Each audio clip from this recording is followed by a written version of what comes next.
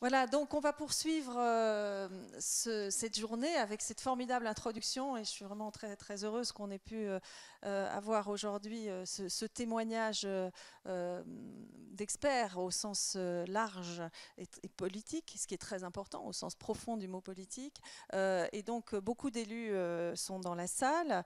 je les remercie d'avoir fait cet effort d'être présents parce que je sais que la volonté politique est essentielle pour le déploiement de cette approche du numérique, de cette approche euh, euh, par, les services, par la, réalité des territoires euh, qui est fondamentale. Et je voudrais donc redonner la parole quelques instants à Monsieur Pajot pour... voilà, il, est, il a accompagné peut-être le président. Donc on va, on va attendre un petit peu et je, je lui proposerai évidemment de, de s'installer avec nous pour ce, pour ce débat qui arrive. Et je vais appeler donc nos invités. parmi eux, donc, euh, Olivier Bailly, qui est directeur des systèmes d'information de la ville de Nîmes, euh, Jérôme Chaussonneau, euh, qui lui est, alors il nous précisera son titre exact, mais est depuis de très longues années porteur de toute la dynamique dans cette ville pionnière de, de dans les Deux-Sèvres. Christophe René, donc de DocaPost, qui va introduire ce, débat. Et puis euh, également donc euh, Monsieur Julien Didry, euh, qui est parmi nous par là, qui est là Julien, voilà, qui arrive de la Meuse, qui est président du pays de Verdun et maire d'une commune de la Meuse. Et je vous remercie vraiment d'être là. Voilà.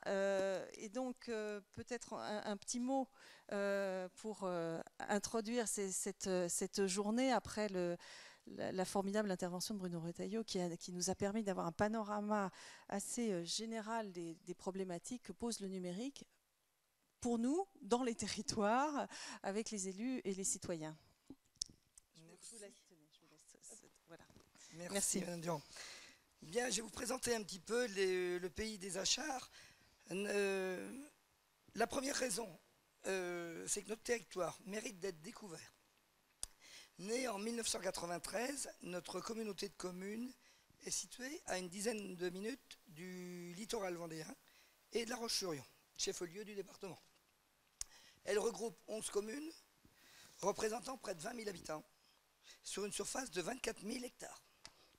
Notre première vitrine est avant tout un pôle économique situé euh, sur l'axe euh, La Roche-sur-Yon, les Sables d'Olonne, de part et d'autre de l'axe routier, 170 hectares, 80 entreprises, 2300 emplois, 23 hectares de stock de terrain à euh, commercialiser.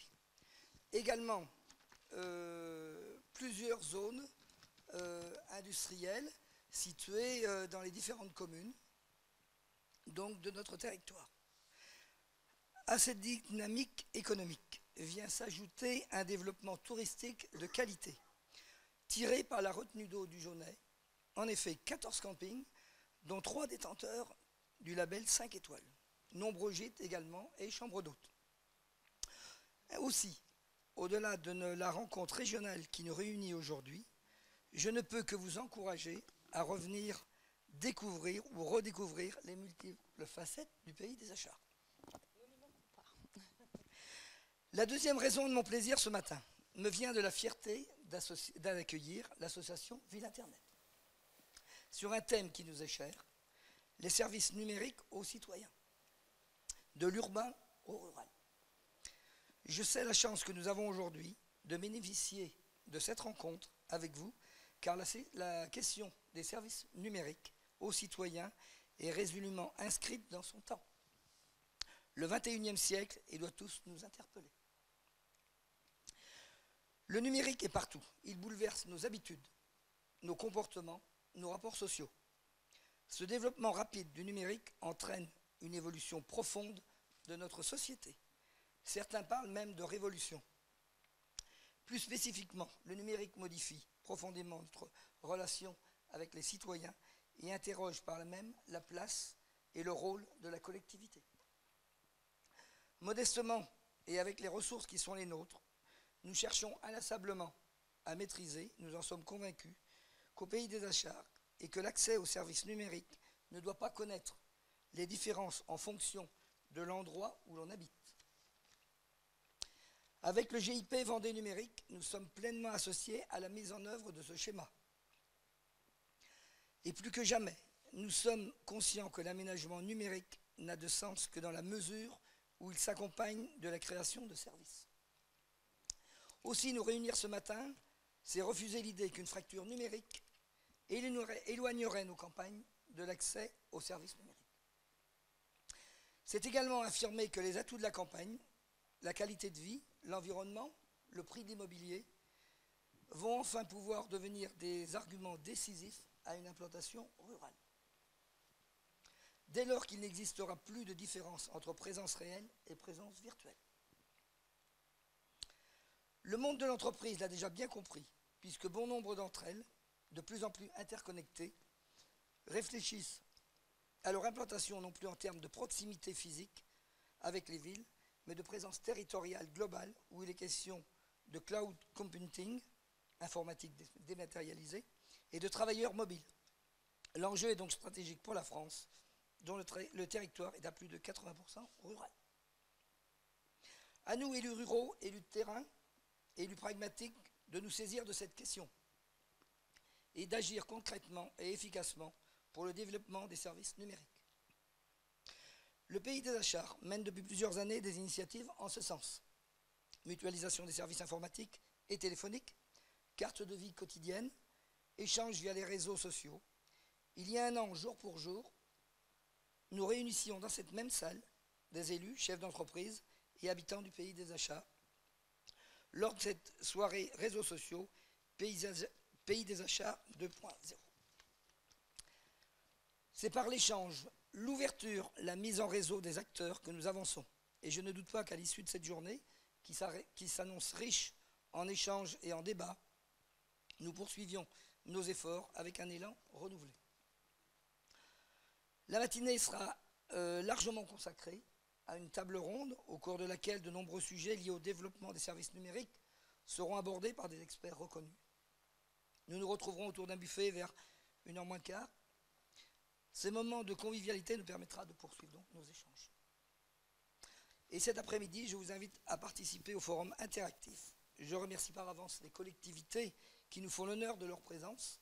Merci. Et qui ne manqueront pas de partager avec nous leurs initiatives. Et je remercie, bien sûr, sincèrement Ville Internet pour sa présence ici ce matin. Je remercie également tous les intervenants à cette journée et qui, pour certains, ont fait de nombreux kilomètres pour nous rejoindre. Bruno Retailleau le disait tout à l'heure. Je remercie également la société AMP pour leurs prestations. Et je vous invite donc à relayer cette rencontre sur les réseaux sociaux avec le mot-clé VIPDA. Et je vous souhaite à tous une très bonne journée. Merci, merci beaucoup. Alors, euh, Bruno Perrin va nous. Euh, Bernard, pardon. Bernard il y a un DSI euh, d'un département qui porte ce nom, et j'ai fait la confusion. On va nous rejoindre également, il est maire d'Aznay, euh, donc euh, dans ce pays des achats, et on attend... non, pas au pays des achats, à côté du pays des achats, en Vendée, au pays d'Aznay. Voilà, excusez-moi. Excusez-moi. La ruralité a cette qualité euh, d'avoir une, démultiplication des, euh, des lieux et des, des, ancrages qui fait que parfois on, a du mal géographiquement à placer tout ça, bien que notre président à Ville Internet soit un géographe spécialisé en territoire et TIC. Et c'est ce qui nous motive aussi dans cette démarche, notamment de prendre en compte la ruralité particulièrement. Et j'ai beaucoup apprécié cette partie de votre introduction, monsieur, parce qu'on a aujourd'hui euh, un partenariat assez fort avec des maires ruraux. Euh, bon, pour des raisons d'organisation, il leur était difficile d'être présents aujourd'hui, mais ils sont là euh, à distance. Peut-être probablement ils nous suivent. Et, et je voudrais insister sur cette importance pour nous qu'a la question du numérique des services numériques pour les personnes qui vivent dans les territoires ruraux euh, et pour les collectivités qui doivent gérer ces territoires, euh, dans la mesure où euh, on sait aujourd'hui, notamment après le rapport de Claudie Le Breton, que certains d'entre vous peut-être auront lu, si ce n'est le cas, je vous invite à le faire, sur les, les territoires numériques, où il, parle de ces nouvelles ruralités, et on en a vu l'exemple aujourd'hui, où certains départements voient leur démographie inversée, où effectivement, effectivement, euh, euh, la qualité de vie dans le monde rural, dans les lieux euh, de campagne, comme on dit, même si aujourd'hui on a augmenté, d'autant plus qu'on a des services classiquement dits urbains, qui finalement se retrouvent dans ce nouvel urbanisme rural qui est construit peut-être aussi grâce aux, outils numériques. Alors avant de revenir en Vendée, je vous donnerai la parole euh, euh, tout à l'heure, euh, je voudrais qu'on ait un petit panorama avec Christophe Rouenet de DocaPost finalement, de ce que peuvent être aujourd'hui des services partagés et des services organisés dans un territoire pas nécessairement totalement urbain, pas nécessairement euh, euh, très formidablement connecté tout le temps partout, euh, et comment, par le service d'ailleurs, on pourrait éventuellement, ça sera un des sujets qu'on abordera dans la matinée, appuyer la demande de connectivité, puisque parfois ben, on, a, ce souci-là aussi. Mais là, on va être plutôt sur la question de la relation aux citoyens, et j'aimerais que Christophe nous en parle un petit peu. donc, au titre de DocaPost, voilà, il va, il va aller là pour les facilité de présentation visuelle avec quelques slides à l'appui pour nous mettre dans le bain visuellement.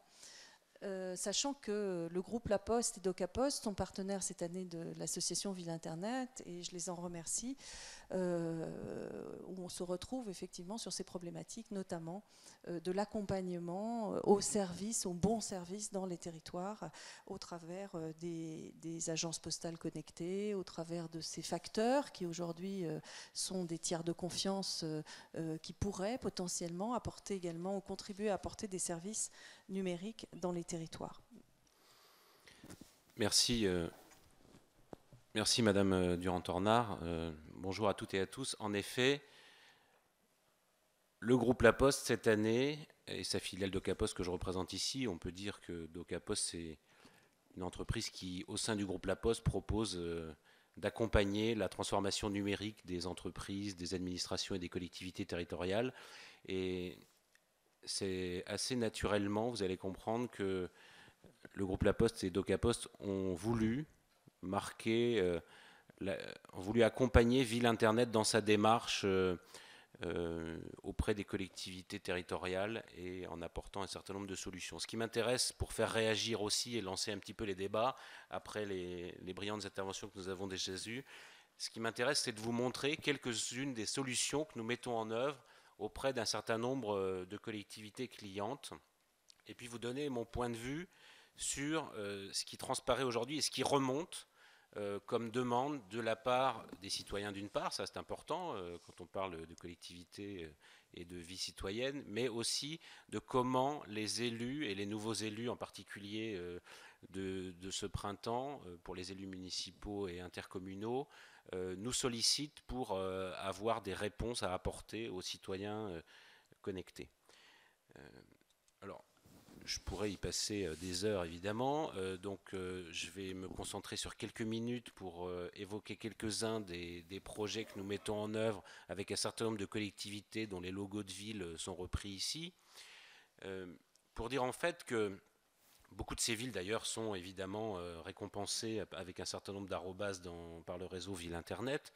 Euh, on peut citer la ville de Rony-sous-Bois par exemple, dont on aura peut-être le temps euh, à la fin de la matinée de montrer une petite vidéo qui illustre en fait comment un citoyen à Rony-sous-Bois a la possibilité, avec l'application mobile que nous avons développée pour la collectivité, eh bien, de faire un signalement, prendre une photo d'un dépôt, d'un dépôt d'ordures sur un trottoir ou d'un tag sur un mur, euh, et que avec cette application, eh bien cette demande, elle va arriver directement dans un logiciel que nous mettons à disposition, une plateforme globale de gestion de la relation citoyen, qui va traiter les échanges et qui va permettre que le service technique de la ville va recevoir directement cette demande et pouvoir proposer une intervention laquelle intervention sera validée par les représentants des services techniques sur la voirie, et puis ensuite jusqu'au retour d'information aux citoyens, parce que c'est ça qui est important aussi, c'est quand un citoyen signale quelque chose ou sollicite une demande, eh bien c'est naturel de lui apporter une réponse,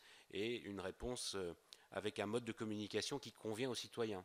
C'est clair que quand un citoyen aujourd'hui euh, propose une interaction avec la collectivité directement avec son smartphone, il est d'accord de recevoir euh, une notification ou sa réponse directement par SMS dans les 24 heures.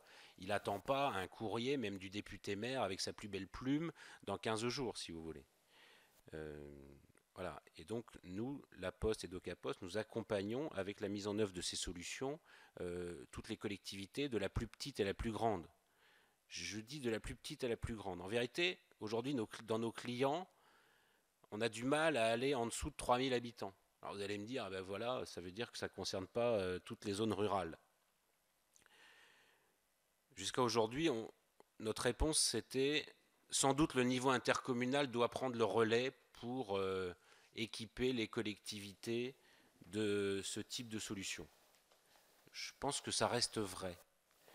Mais tout de même, euh, il y a autre chose qui est vrai, c'est que il y a beaucoup de collectivités là qui depuis le printemps nous disent mais nous on a quand même une autre problématique, c'est-à-dire on ne va pas attendre que le schéma intercommunal du 1er janvier 2016 soit connu pour euh, mettre en œuvre des solutions. Parfois, on n'est pas toujours d'accord avec nos voisins, et puis on voudrait, par exemple, proposer un site internet qu'on n'a pas vraiment, ou que l'ancienne équipe municipale avait mis en œuvre mais qui est devenue obsolète. Et donc c'est bien que vous puissiez nous apporter des vraies solutions. donc je vais y revenir un tout petit peu tout à l'heure pour vous dire comment, au fond, euh, le groupe La Poste se devait d'apporter ces solutions, parce que le groupe La Poste, c'est aussi le groupe qui est présent le au plus près des citoyens tous les jours. Je rappelle que le facteur, c'est le deuxième personnage préféré des Français après le boulanger. Peut-être qu'un jour on sera premier. Euh, en tout cas, c'est le seul individu qui parcourt les rues de toutes les communes tous les jours. Il n'y a personne d'autre qui fait ça. Six jours sur sept. Dans beaucoup de pays européens, euh, c'est deux ou trois fois par semaine. Euh, et donc la Poste veut vraiment garder ce lien important que constitue le facteur dans sa relation de proximité avec les citoyens et qui peuvent apporter aujourd'hui un certain nombre de services nouveaux, y compris au, bénéfice de communes ou au bénéfice d'autres fournisseurs. Dans beaucoup d'endroits, le facteur qui est devenu aussi euh, un personnage connecté euh, met en œuvre, comme on le voit ici à l'image, le facteur il, est maintenant équipé de smartphone et il va euh, mettre en œuvre un certain nombre de services tels du relevé de compteur, le signalement d'une personne âgée qui va moins bien depuis deux ou trois jours auprès du CCAS, etc., etc. Donc c'est tous ces nouveaux services que nous sommes en train d'apporter, y compris avec un certain nombre de solutions numériques, comme je l'évoquais. Euh, et la première de ces solutions numériques, c'est quoi? C'est le site web. Les collectivités territoriales, elles disent, d'abord, il nous faudrait un site web. Et notre citoyen, bah, il n'est pas content du site web qu'on a proposé, parce que dans le site web qu'on a proposé, il n'y a pas d'interactivité.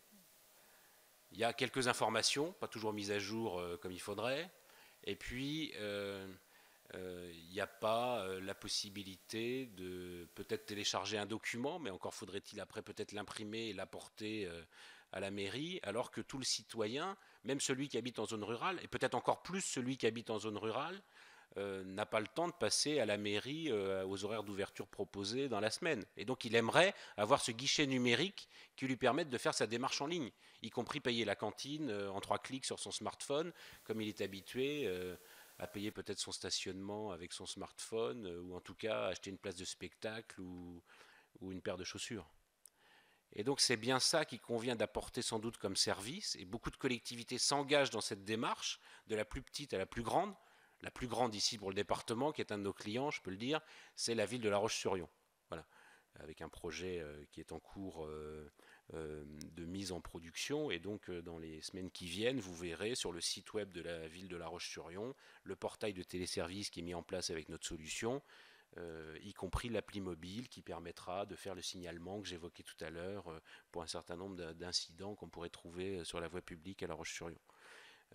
Mais dans toute la France, tout le monde est concerné. Et le citoyen, toutes les études le montrent, et donc ça a été pris en compte par les candidats dans leur campagne municipale au mois de mars, on va vous apporter de la simplification et de la modernisation dans les outils qu'on vous propose euh, pour faire de l'échange avec les citoyens.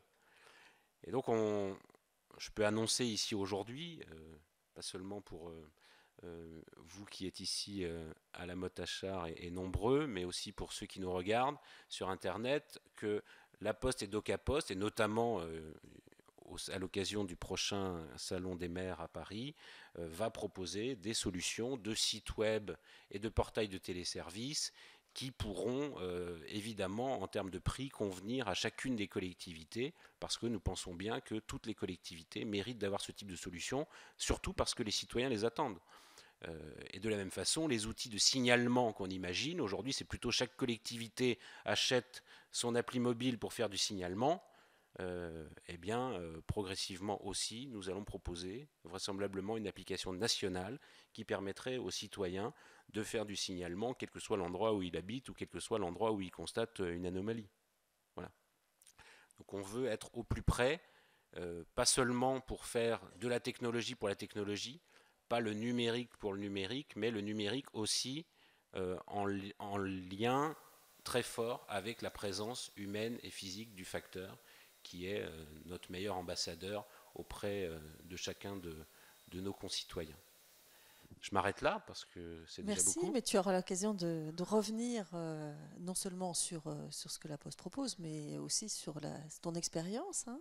Je permets de dire que tu es, as été élu également, enfin tu es élu également, donc tu as aussi une posture concernée par ce dont tu parles. Voilà. C'est vrai, et j'ai un grand souvenir en 1998 d'avoir été euh, dans les premières villes. J'étais directeur de cabinet à Voisin de Bretonneux dans les Yvelines à l'époque. Et avec Partenay, ici les Moulineaux et quelques autres, nous avions la chance d'être dans les pionniers. Euh, et donc, euh, c'est un grand plaisir toujours d'échanger autour de ce réseau Ville Internet pour voir comment les choses ont bien avancé et, comment c'est intéressant de contribuer à les faire avancer toujours. Voilà, merci beaucoup. Tu veux nous rejoindre Alors, je voudrais euh, souligner euh, deux arrivées. Euh, celle de, Pierre Pérez. Je parlais tout à l'heure de la délégation aux usages de l'Internet quand Bruno Retailleau est intervenu et on a, cité la délégation aux usages de l'Internet, les assises de la médiation numérique qui se préparent. Et donc, bah, l'instigateur de cette démarche auprès de la ministre Axel Lemaire, bah, c'est Pierre Pérez, qui est secrétaire général de la délégation aux usages de l'Internet et qui va donc euh, nous accompagner tout au long de ces journées, intervenir euh, tout à l'heure euh, en, fin de matinée et, être témoin de cet après-midi de, paroles échangées. Hein. Vous avez compris que le jeu ce matin, c'est d'exposer un certain nombre d'enjeux. Et cet après-midi, eh c'est vous qui interviendrez, qui, entre vous, réfléchirez, poserez des questions, présenterez, vos, initiatives et vos actions. Alors, en attendant, bien, on, continue euh, euh, une forme de, Tour de France, hein, en quelque sorte, et on va à Nîmes avec Olivier Bailly, qui est directeur des systèmes d'information. Euh, et on a entendu dans ce que Christophe René nous a présenté la problématique de l'échelle territoriale, finalement. Euh, difficile euh, d'amener euh, les services les plus essentiels via le numérique vers toutes les populations. L'association des maires ruraux a souligné souvent et fermement cette difficulté et cette fracture géographique finalement qui, existait, qui était totalement injuste. Je parle au passé parce que j'ai le sentiment quand même que de nombreux acteurs, on vient de le voir, s'emparent de cette problématique pour que tous les Français partout soit servi avec, euh, avec ces outils. Alors, je laisse Olivier nous expliquer comment euh, il a pris le taureau par les cornes à Nîmes. Je cherche le. Ah voilà. Merci. Oui, pardon. Alors, juste avant, Olivier, parce que j'ai dit que je, présentais deux personnes, excusez-moi. Euh, donc, euh, Philippe Prost, qui nous a rejoint de la société Axéo et qui va nous parler d'accessibilité, parce que tout ça ne va pas sans cette problématique de, de l'accessibilité et ça permet d'avoir un paysage complet. Et donc, merci Philippe d'être avec nous ce matin. Olivier. Alors, euh, dans, plusieurs euh, interventions déjà ce matin, on a parlé de, l'échelle sur laquelle on pouvait intervenir, qu'on avait besoin quelquefois d'une dimension suffisante pour réussir à être dans l'action. Une des bonnes façons de traiter cette difficulté, puisque c'est il est évident qu'une commune de 600 habitants n'est pas dans la même capacité à traiter une problématique numérique qu'une commune, de 150 000 habitants, hein, par exemple comme la, ville de Nîmes. Donc une, bonne façon de, régler cette difficulté, c'est tout simplement la mutualisation. Hein, la, capacité à organiser euh, une péréquation territoriale, à organiser le travail en commun, à faire bénéficier euh, de l'expérience, de la compétence, de l'infrastructure, euh, des compétences des équipes euh, des grandes structures territoriales au profit de communes plus petites, de communes rurales en particulier, qui, peuvent, certes avec des besoins différents, hein, si on parle de, système d'information par exemple, hein, le système d'information euh, nécessaire à, la gestion des ressources humaines d'une commune de 600 habitants, c'est pas le même système d'information que euh, une préfecture ou, euh, ou qu'un conseil régional, évidemment. Mais pour autant, ça reste du système d'information et quand on a une équipe en charge du système d'information, dont c'est le métier, dont c'est l'activité principale, qu'on a réussi à, consolider beaucoup de, territoires euh, pour que cette équipe le, rende un service, eh ben, on arrive à spécialiser euh, nos techniciens, nos ingénieurs, et pouvoir offrir un service sur mesure sans déposséder euh, la collectivité de sa compétence. L'essentiel de la mutualisation, surtout quand on s'adresse à des services supports comme l'informatique, comme le numérique, comme tous les, sujets qui nous occupent aujourd'hui, il est important que l'exécutif local, même si c'est une petite commune, garde la main, garde ses décisions sur la gouvernance de son système d'information. Les, enjeux de ce mandat, alors il y, a, beaucoup d'élus, euh, je pense qu'ils seront assez d'accord avec moi, les enjeux de ce mandat sont des enjeux financiers. On a des baisses importantes des dotations de l'État, on a des, difficultés à, boucler les budgets et c'est de plus en plus compliqué. Euh, un des postes importants euh, dans la territoriale, bah, c'est le, fonctionnement. Hein. On sait qu'on fonctionne beaucoup plus qu'on investit, ce qui est un vrai souci. C'est un souci pour les entreprises, mais c'est un souci aussi pour les collectivités territoriales.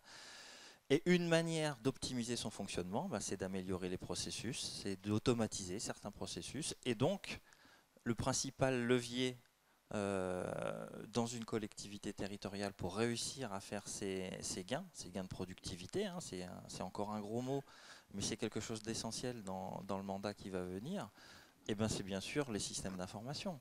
C'est la qualité la qualité qu'on va mettre en œuvre pour organiser la relation avec les usagers. Alors moi je parle de relation avec les usagers plus que de relation avec les citoyens parce que Bon, le citoyen, il vote, alors c'est toujours un peu euh, délicat d'organiser. Il fait pas que ça, heureusement. il fait pas que ça. Moi, je préfère parler d'usagers.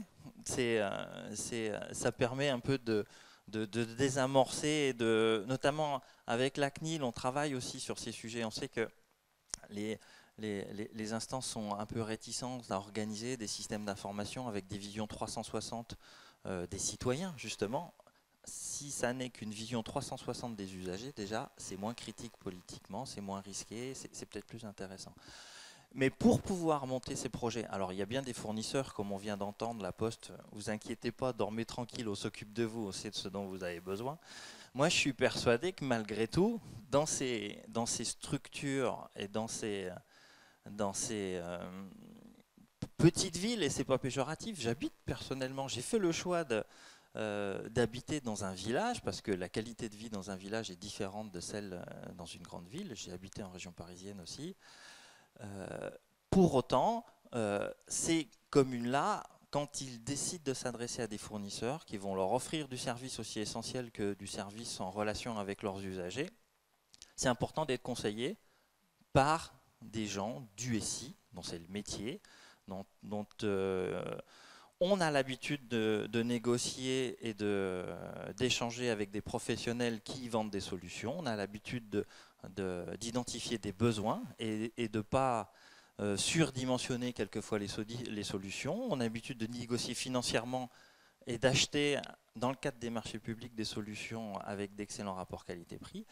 Et c'est important de pouvoir accompagner euh, les exécutifs locaux dans ces choix et dans les mises en œuvre, dans les conduites du changement. Hein. Le, numérique, la principale difficulté du numérique dans les équipes, c'est bien sûr la conduite du changement, puisque c'est quelque chose qui, est compliqué à mettre en œuvre.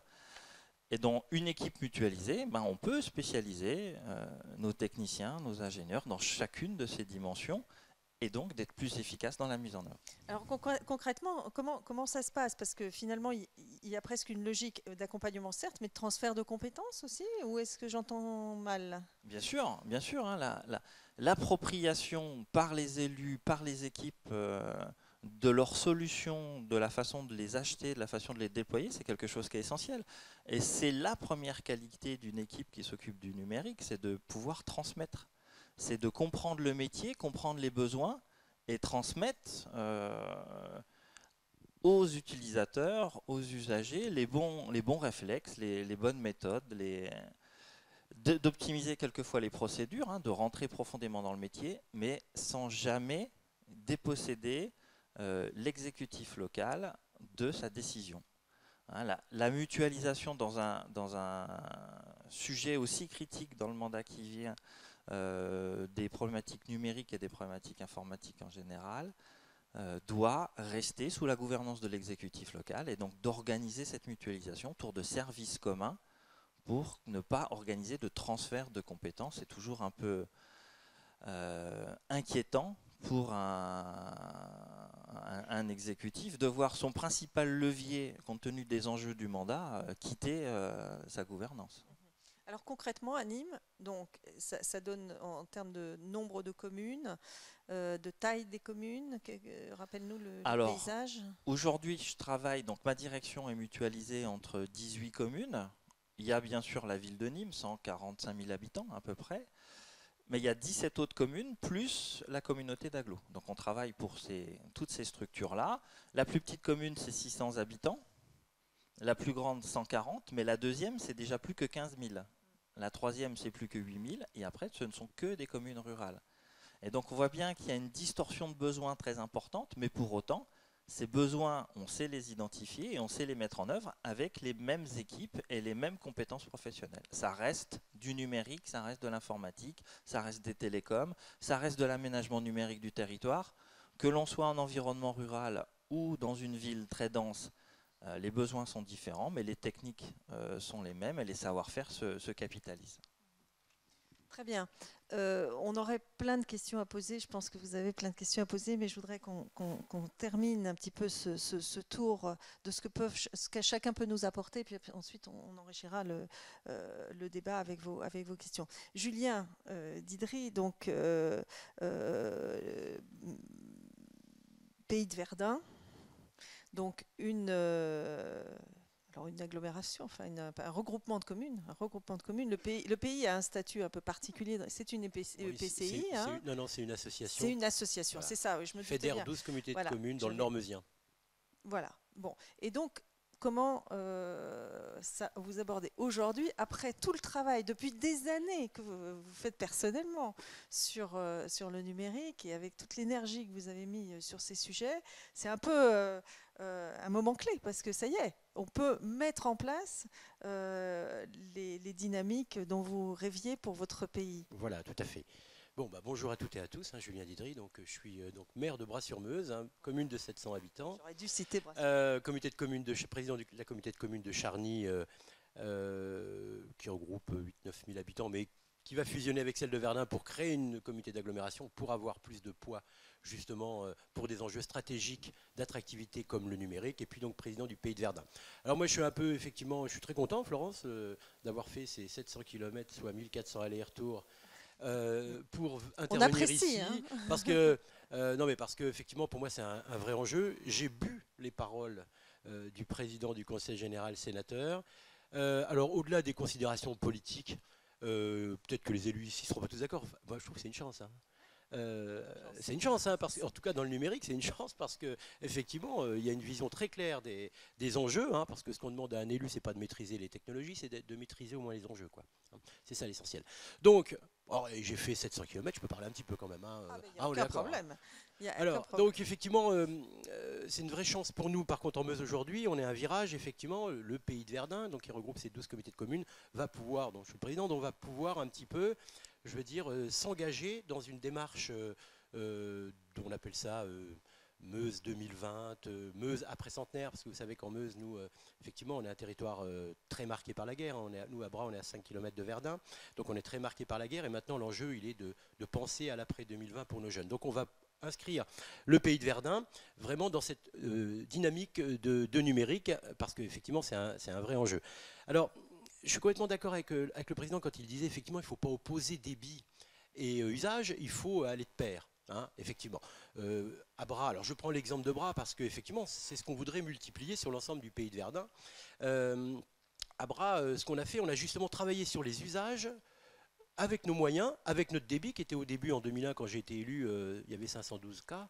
Non, même pas, oui, si, 512K. Et avant, au début, on avait, vous savez, le, vous en souvenez, le 56K, là, pour les anciens, là? Vous savez, le petit bruit, là, c'est quand ça se connecte, c'était ça, quoi. Et eh bien, vous savez, la première chose qu'on a mis en place, à bras, pour répondre à un problème de, démocratie, entre guillemets, ou de moins d'intérêt des citoyens à la démocratie, on a mis en, place la première initiative qu'on a publiée sur Ville Internet, dans les initiatives, c'est la on appelle ça la démocratie en ligne, et on a envoyé un mail qui au fur et à mesure des années euh, concerne pratiquement 90% de la population, on envoyait un mail avant chaque conseil municipal, dix jours avant, de l'ensemble des délibérations expliquées telle une grande ville comme Nîmes, parce que dans les communes de moins de 3500, on a juste à mettre l'ordre du jour et puis euh, roule. Non, nous on expliquait tout, ils ont le même ordre du jour, les habitants, que les, élus.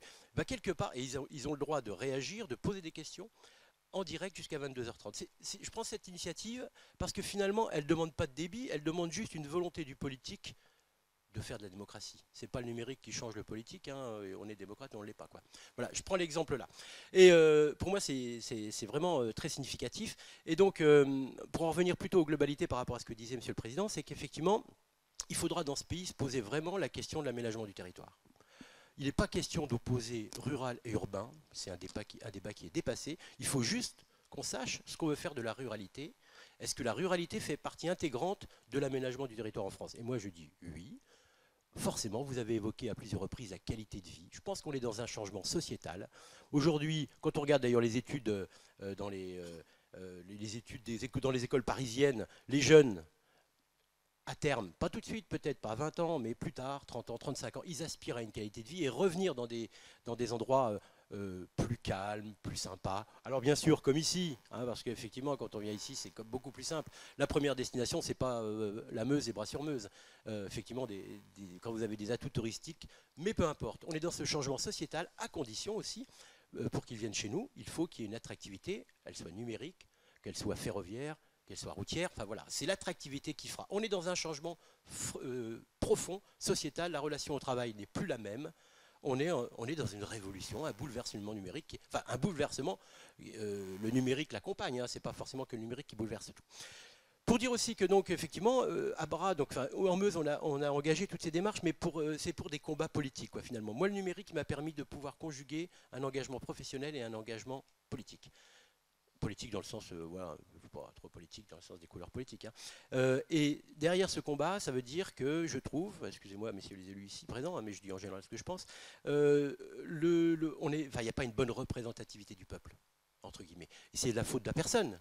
C'est la faute au système que c'est très difficile, quand on est dans le domaine privé, de pouvoir concilier des mandats d'élus et avoir une activité professionnelle. Donc ce qui fait qu'on n'a pas une bonne représentativité et que c'est important, je pense, d'avoir, euh, quand on dit qu'il y a beaucoup de fonctionnaires, de retraités, et c'est hyper important, mais c'est aussi bien d'avoir des, gens issus du monde privé, du monde économique, pour qu'il y ait une bonne représentativité et que les décisions soient pas trop mal. Quoi. Donc ça c'est le premier combat, c'est pour ça. Et quand vous voyez cette tablette là, aujourd'hui je gère donc ces trois collectivités, je signe 95% de mes courriers avec cette tablette. On a tout mis en forme numérique, que ce soit à la mairie, que ce soit au Pays de Verdun, que ce soit à la communauté de communes, tout est géré par numérique.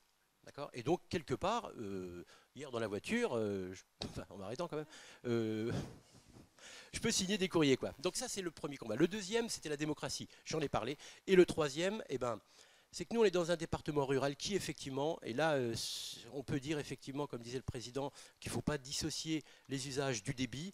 Mais par contre, quand on n'a pas de débit, ça va pas bien. Quoi. Et là, c'est un vrai combat. Quand je parlais d'aménagement du territoire en France tout à l'heure, je vous l'ai dit la dernière fois à Ville Internet, mais pour moi, on doit revenir à cette loi de 1936 sur l'électricité. En 1936, les parlementaires ont voté une loi, une sorte de péréquation, qui faisait que les communes qui bénéficient de la fibre demain, on prend l'électricité, mais c'est pareil pour la fibre, les communes qui vont bénéficier aujourd'hui, 100% financées par les opérateurs de la fibre dans les grandes villes, devraient, via une péréquation, financer un petit peu les territoires ruraux, parce que le problème, c'est que nous, dans tous les cas, c'est de l'argent public. Après, on n'a pas les moyens, forcément, vu que ce n'est pas les opérateurs qui payent, même si l'État fait des efforts avec le FSN, avec plein de choses et tout. Mais derrière, on n'aura pas les mêmes moyens en Meuse que peut-être ici. Et donc, forcément, il y aura encore un décalage. Et euh, il y aura une France à deux vitesses ou à deux débits. Et derrière, les débits, c'est tous les usages qu'on a pu mettre en place et euh, qui sont essentiels. Moi, je me suis battu depuis 2001. Je prends toujours cette anecdote parce que quand je parlais tout à l'heure de l'enjeu du numérique, quand été élu en 2001, en 2002, j'ai dit je me lance dans le numérique. En 2002. Euh, je vais vers le nord, et puis je me lance dans le haut débit par rapport aux usages. Moi, il y a le maire d'à côté, trois communes plus loin, il me disait, mais Didri, attends, eh, on s'en fout de ton numérique, nous, on veut on veut l'école, nous, on veut une école. Aujourd'hui, le même, bon, il n'a pas été renouvelé d'ailleurs, hein, euh, le même, euh, il pleure parce qu'il ne vend plus ses parcelles, il ne vend plus ses terrains, parce qu'il n'a pas de débit. Non, mais quoi qu'on dise. Donc voilà, c'est à peu près tout ça. Monsieur de la Poste, donc, juste pour vous dire que, et monsieur de Nîmes, juste pour vous dire que dans les communes de 700 habitants, on peut mettre aussi des applications mobile. Hein. Euh, on a une application de signalement euh, comme la vôtre. Alors, je suis désolé, je vais me faire incendier, mais Montebourg n'est plus là. Euh, mais c'est une société belge. parce qu'effectivement, nous, dans l'Est de la France, on a une très forte attractivité du Luxembourg, de la Belgique et tout. Et c'est une société qui, a un an, mais on peut basculer sur votre, société si elle est économiquement intéressante. Hein. à l'époque, ce n'était pas le cas parce que eux, ils ont une logique de dire bon, bah, effectivement, c'est X euros de l'habitant. Et donc forcément, euh, si on prend, je dis n'importe quoi, mais 1 euro de l'habitant à 700 euros par an, on peut se payer des applications. Acheter une application dès le départ, c'est juste pas possible pour nous. C'est possible pour vous, pas possible pour nous. Peut-être que le modèle économique de la Poste évolue dans ce sens-là et ça sera très bien.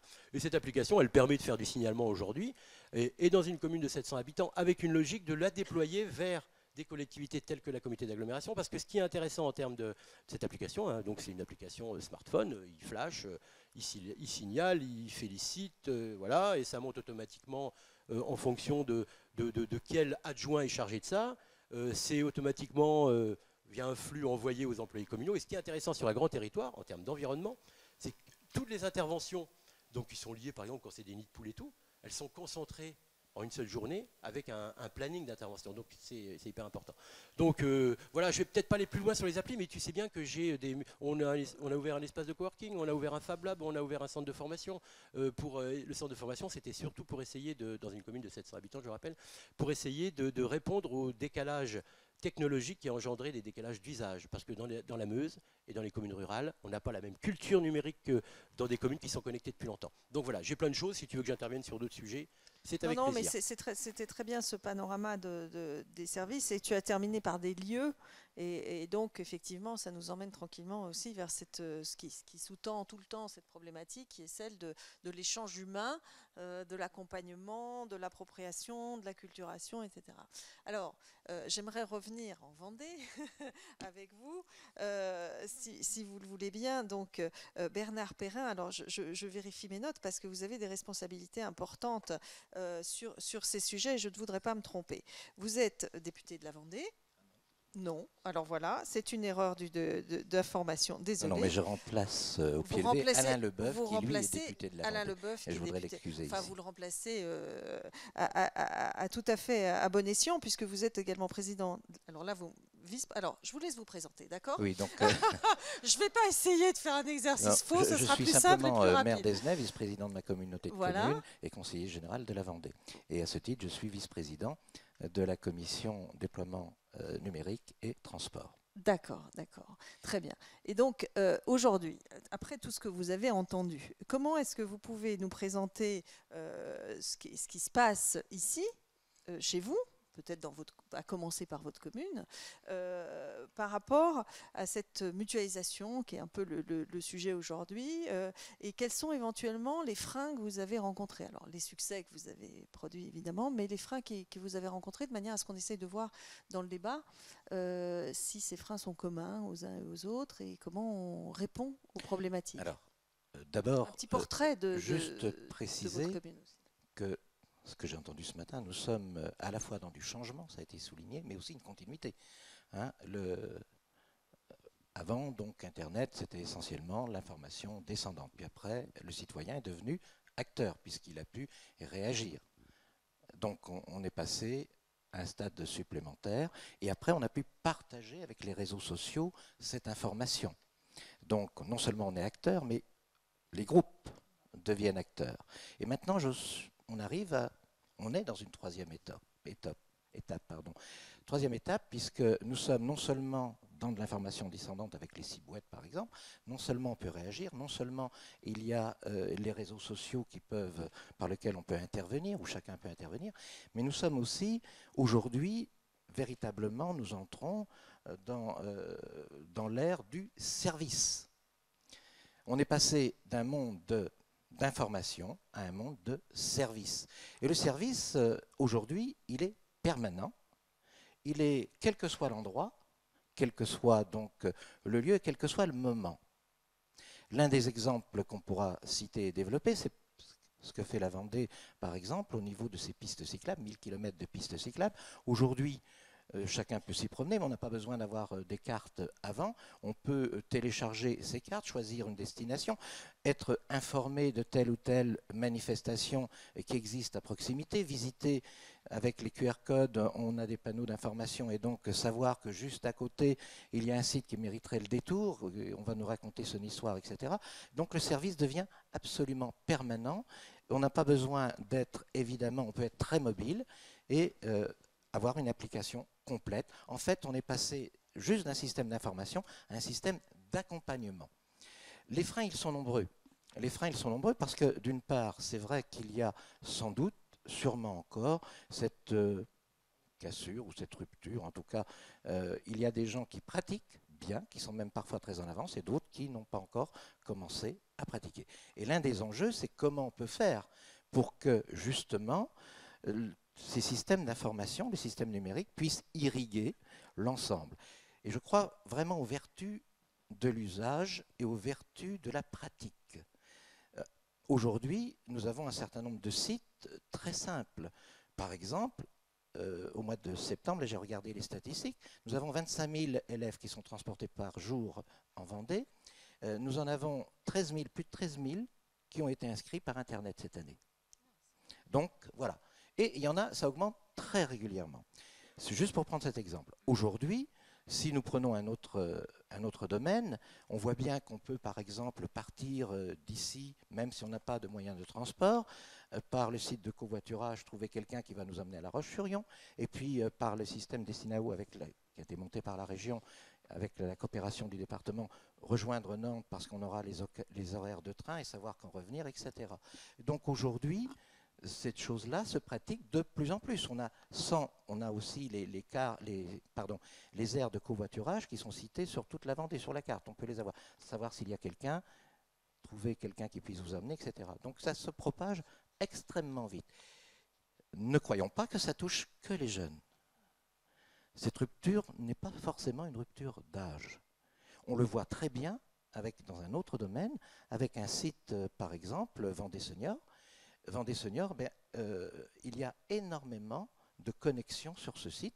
J'imagine que ce n'est pas les enfants de 12 ans, qui, euh, mais ils peuvent trouver là un certain nombre de services. Alors, pour que ça puisse euh, justement se développer, il faut que les services répondent à des besoins réels. Et là, je voudrais revenir effectivement sur ce que nous a dit notre collègue de Nîmes. Ces besoins réels, ils sont réels dans ce territoire. On n'a pas besoin de payer pour des applications dont on ne se sert pas. Et donc moi, je crois vraiment au service décentralisé. Ensuite, effectivement, s'il s'agit d'une, parmi les freins, eh bien oui, il y a aussi des élus qui sont pour ça, d'autres qui le sont moins. Et il faut sans doute donner quelques petits coups de pouce. Dans la commune où je suis, euh, on va donner quelques coups de pouce très prochainement. On vient d'en donner un assez fort avec euh, le montage, par exemple, ou l'aide, l'aide avec l'association de commerçants sur un projet qui s'appelle EasyShop, où évidemment, ce sont des commerces de proximité. Bien entendu, ils se regroupent, il y a l'association. On pourra faire ses commandes en partant de la roche sur passer un coup de fil ou envoyer un mail ou autre chose, et on pourra faire ses commandes chez le boulanger, chez le pâtissier, euh, chez le boucher, avoir toute sa commande regroupée au même endroit et n'avoir qu'un paiement à faire qui sera ensuite dispatché selon les commerçants. Donc ça, évidemment, pour mettre au, point des projets comme ça, ça demande beaucoup de temps, énormément de concertation, euh, évidemment une forte volonté politique pour accompagner, mais nous avions une réunion hier, euh, la semaine dernière, euh, il nous fallait quand même un peu de fonds et un peu d'adhésion au départ, il y avait, je ne sais pas, 60, 70 personnes, et on a dû avoir euh, à peu près 60 commerçants et artisans qui spontanément, spontanément ont adhéré. Le vrai défi, après, c'est qu'il va falloir le faire marcher vraiment. Il nous reste plein d'obstacles à franchir sur le plan technique, etc. Mais les obstacles sur le plan technique, ils se franchissent. Il faut sans doute que l'un des obstacles plus difficiles, c'est les obstacles psychologiques. C'est tout simplement, oui, mais si on fait ça, je ne vais plus voir. Si l'adjoint ou l'élu va dire, ben oui, mais c'est bien beau là de signaler, mais, mais moi les gens, je les vois quand? Et l'un des obstacles, c'est d'arriver à démontrer que justement, Internet ne doit pas prendre la place, n'est pas fait pour ça. Il doit juste permettre euh, à celui qui est concerné, c'est-à-dire l'élu par exemple, d'être plus efficace. Et c'est là peut-être où il ne faut pas se tromper, parce qu'on voit des. Je suis un peu surpris des fois quand je vois des propositions, mais, mais des mégalos propositions. Je dis mégalos, au sens qu'elles sont. Voilà, on traite tous les sujets à la fois, mais ça sert à rien si ce n'est pas utilisé. Il faut veiller évidemment à ce que l'usage se développe au même niveau que les possibilités techniques. Et ceux qui savent le mieux ce dont ils ont besoin, c'est sans aucun doute quand même ceux qui seront chargés de les utiliser, et à premier lieu les citoyens, éventuellement leurs représentants. Donc, pour ce qui nous concerne, on, s'aperçoit aussi que ça ouvre des horizons considérables. Les horizons, euh, je vais juste prendre quelques exemples. Nous, euh, en Vendée, nous avons euh, donc un site général et puis bien sûr tout un tas d'arborescences. Euh, et, on accompagne, on a des sites à peu près pour euh, chaque âge de la vie, hein, euh, dans des petites enfances par exemple, pour savoir quelles sont les assistantes maternelles les plus proches de chez vous qui, sont disponibles. Voilà, c'est très pratique parce qu'on sait, il y a même l'endroit où elles habitent. voilà. Et, on peut même aller la voir, et même par Google Maps par exemple, on peut aller voir si le jardin est assez grand. Hein. Donc, mais on a aussi d'autres utilisations, par exemple pour les parents, être parent. Hein, c'est un de nos sites, être parent, qui va donner euh, un certain nombre de conseils, un certain nombre d'adresses euh, en cas de, besoin. Euh, voilà, et chacun peut y accéder avec une grande confidentialité, c'est un point important. Et puis on a d'autres sites aussi qui vont accompagner comme ça tous, les, tous les usages, tous les âges de la vie. Avec, on se termine avec Vendée Seigneur et on termine aussi avec les maisons de vie. Mais on peut aller plus loin parce que justement, avec les maisons de vie, on peut sans doute faire des applications et prévoir des applications qui vont améliorer et rompre, cette calamité actuelle qui est l'isolement. L'isolement, c'est terrible. Nous avons de plus en plus de personnes, chez nous comme ailleurs, j'imagine, dont les enfants euh, ne sont plus là. Ils habitent parfois à 500 km, mais les enfants sont parfois très inquiets de dire qu'est-ce qui, lui, qu'est-ce qui va se passer si lui ou elle, surtout si elle est restée à domicile, s'il lui arrive un problème? Quand les enfants viennent à la maison, tout va bien. Et bien sûr que le, grand-père, la grand-mère va dire, mais non, il n'y a pas de problème, je vais bien. D'ailleurs, je veux rester le plus longtemps possible à mon domicile. OK. D'accord, mais il se peut que la réalité soit un peu autre. Alors, juste pour rentrer un tout petit peu dans la technique nous avons tous des habitudes de vie. Notre vie quotidienne est segmentée en rituels. On a approximativement une heure pour se lever, une heure pour se coucher, une heure pour déjeuner, etc. Une heure donc pour déjeuner, ça veut dire tout bêtement allumer la gazinière, ouvrir le frigo, à peu près. Hein, c'est à peu près aux mêmes heures qu'on prépare le déjeuner. Imaginons, alors, à chaque fois qu'on fait dans une maison, ou à la maison de retraite. À chaque fois qu'on appuie sur un interrupteur, il y a donc un signal. Ce signal est différencié, peut être différencié, est différencié d'ailleurs. Et donc, si on a quelqu'un, par exemple, qui vit normalement, qui a vu ses enfants, voilà, il dit tout va bien, très bien, voilà. Et, puis finalement, on s'aperçoit qu'il n'allume plus la gazinière, il n'ouvre plus la porte de frigo, il y a quand même gros à parier qui ne se prépare plus à déjeuner. Et donc, ce système-là va permettre, certainement non pas de réduire, mais de détecter un changement de comportement qui peut, qui peut, qui peut effectivement euh, être une alerte. Alors ce n'est pas simplement l'alerte de l'accident, là on est beaucoup plus loin. On travaille sur le dossier avec euh, les chercheurs d'Orange depuis un peu plus de deux ans. On est tout près de la mise en application. Alors là, par contre, vous parliez des freins. Les freins ne sont pas techniques parce que c'est un seul boîtier, un seul, très facile à poser. Mais les freins, ils sont psychologiques quel est le niveau d'acceptabilité Ce n'est pas une caméra, c'est beaucoup moins intrusif, mais tout de même. Et on a donc ce dilemme entre les enfants qui voudraient bien que ça soit mis en place, mais aussi la personne qui dit bah, Je ne suis pas cobaye. D'où l'accompagnement nécessaire. D'où l'accompagnement absolument nécessaire.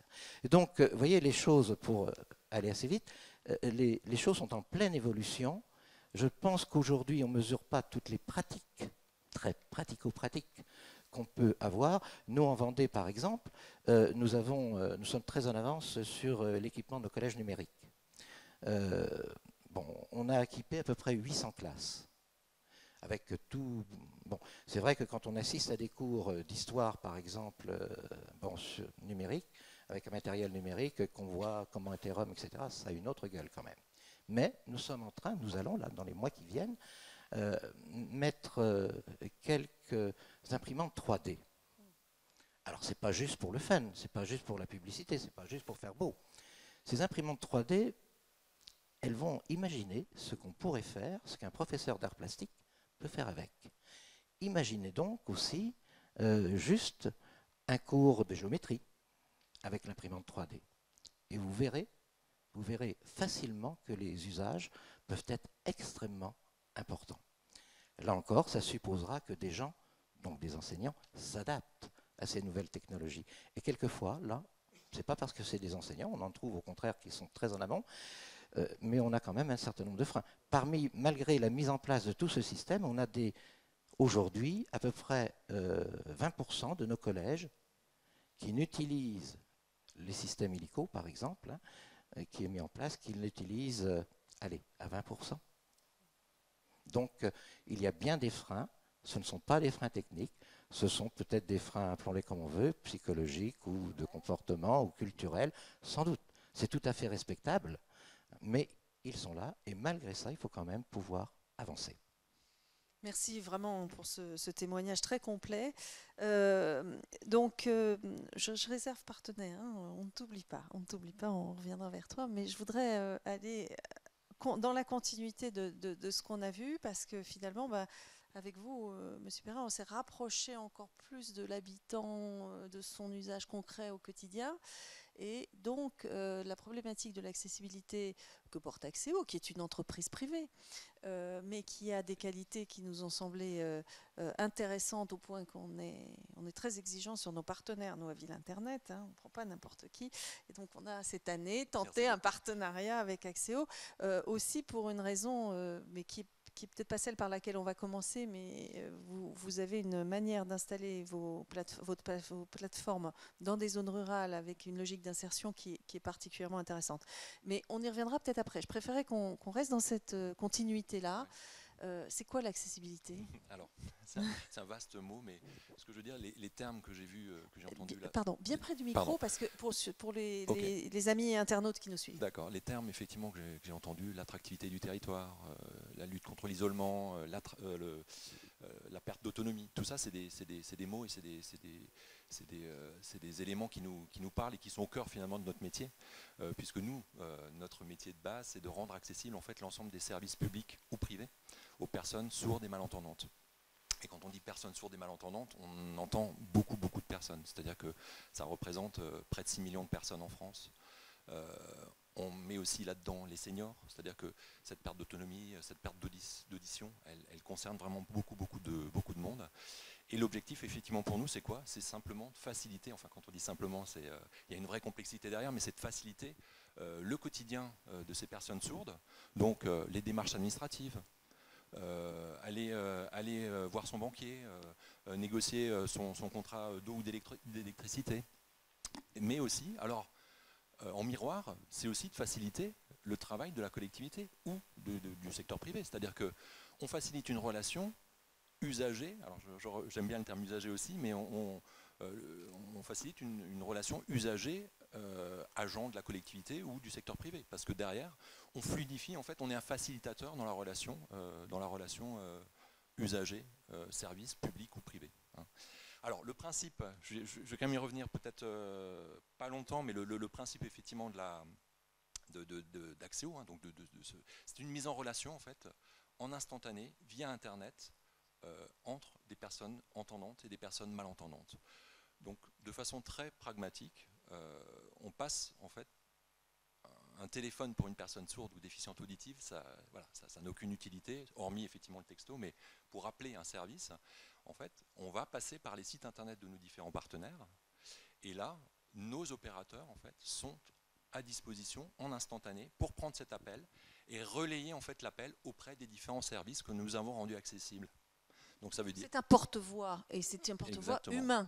oui, en plus, ce qui est important, c'est que bien évidemment, on a mis une infrastructure technique en place, mais on a mis aussi tout un écosystème humain et on a mis l'humain en fait au cœur de nos, au cœur de, nos, euh, de, notre, de notre service. Euh, et derrière, en fait, euh, la majorité, le, gros de la troupe en fait, chez Axéo, ce sont nos opérateurs qui assurent cette, cette, ce service de courroie. En fait, c'est une courroie de transmission en instantané entre ces usagers qui sont finalement en perte d'autonomie, qui sont voilà, souvent qui, font, qui font faire hein, ou qui sont qui, sont, qui, sont, qui sont un petit peu masqués. Ce n'est pas, pas, un handicap visible, hein, mais c'est un handicap qu'on appelle invisible. Et derrière, on facilite vraiment cette, euh, cette, cette, relation euh, et ça permet effectivement derrière euh, bah, de gagner en autonomie pour la personne sourde, de faciliter aussi le travail des équipes, des équipes en, mairie ou, des conseillers dans, le secteur privé. Donc l'idée, elle est, vraiment là. Très bien. merci. Je, alors, puisqu'on y est, et je voudrais comme ça, ce sera complet, euh, parce que c'est intéressant de voir jusqu'où peut aller. Euh, est-ce que c'est -ce encore de l'économie numérique? D'ailleurs, on peut se poser la question. Mais sur la, méthode euh, d'implantation de vos plateformes, puisque bon, c'est quand même une activité numérique. Enfin, vous êtes une entreprise de, la, de, la, sphère de l'économie numérique, et pourtant. Votre ancrage humain et, territorial est particulier. Est-ce qu'on peut en dire quelques mots? J'allais dire pour assurer en fait cette montée en charge, puisqu'en fait euh, régulièrement bah, on signe de nouveaux partenariats. Euh, euh, on parlait des collectivités, donc Metz vient de, lancer officiellement son service d'accessibilité donc au travers d'Axéo. Le Conseil général du Jura aussi a, signé donc ce partenariat qui rend accessible en fait l'ensemble de ces services dont par exemple aussi l'aéroport. Enfin voilà, on, arrive après à des usages justement qui sont très qui sont très très variés derrière. Et pour assurer en fait cette montée en charge, nous, en fait, euh, notre métier, donc c'est alors pour revenir un peu sur la déficience auditive, hein, donc vous avez deux grands, euh, deux grands pans en fait de, de, métiers. Vous avez soit des interprètes en langue des signes française, donc ça c'est le côté les sourds qu'on appelle signants. Donc euh, on voit effectivement ce, cette partie plus handicap où, les sourds pratiquent en fait la langue des signes française. Et puis derrière vous avez la majeure partie en fait des, déficients auditifs qui sont, qui sont sur, sur oralisés, c'est-à-dire qu'ils peuvent parler. Donc moi je vous parle, je pourrais être sourd, mais je ne vous entends pas, je n'ai pas la voix retour. Et l'idée de cette voix retour, c'est de la transcrire instantanément par la parole. Et donc ce que je n'arrive pas à entendre, je le lis. Et donc cette lecture-là, en instantané, me permet en fait de converser à distance avec, euh, avec euh, mes interlocuteurs. Et c'est cette, cette force-là aussi que, qu'on est en train de déployer effectivement de façon assez, assez importante. Et donc c'est un métier en fait qu'on a appelé nous e-transcripteur. Donc c'est un, nouveau métier. Et ce nouveau métier, en fait, demande deux ans de formation. Donc ça veut dire que pour être capable en fait, de retranscrire une conversation, parce qu'on parle quand même à plus de 200 mots minutes, et pour être capable de retranscrire ça à la vitesse de la parole, euh, il faut effectivement deux ans de formation pour, pour, pour arriver à, cette, à, cette qualité de service quelque part. Hein. Et, donc, effectivement, notre implantation, donc pour assurer cette montée en charge, on a effectivement créé deux plateformes en zone urbaine. On est historiquement basé à Saint-Maur-des-Fossés. Une deuxième plateforme à Lyon, et une euh, troisième, effectivement, alors là, c'était la rencontre, j'allais dire, d'un projet d'entreprise et d'une volonté d'élu.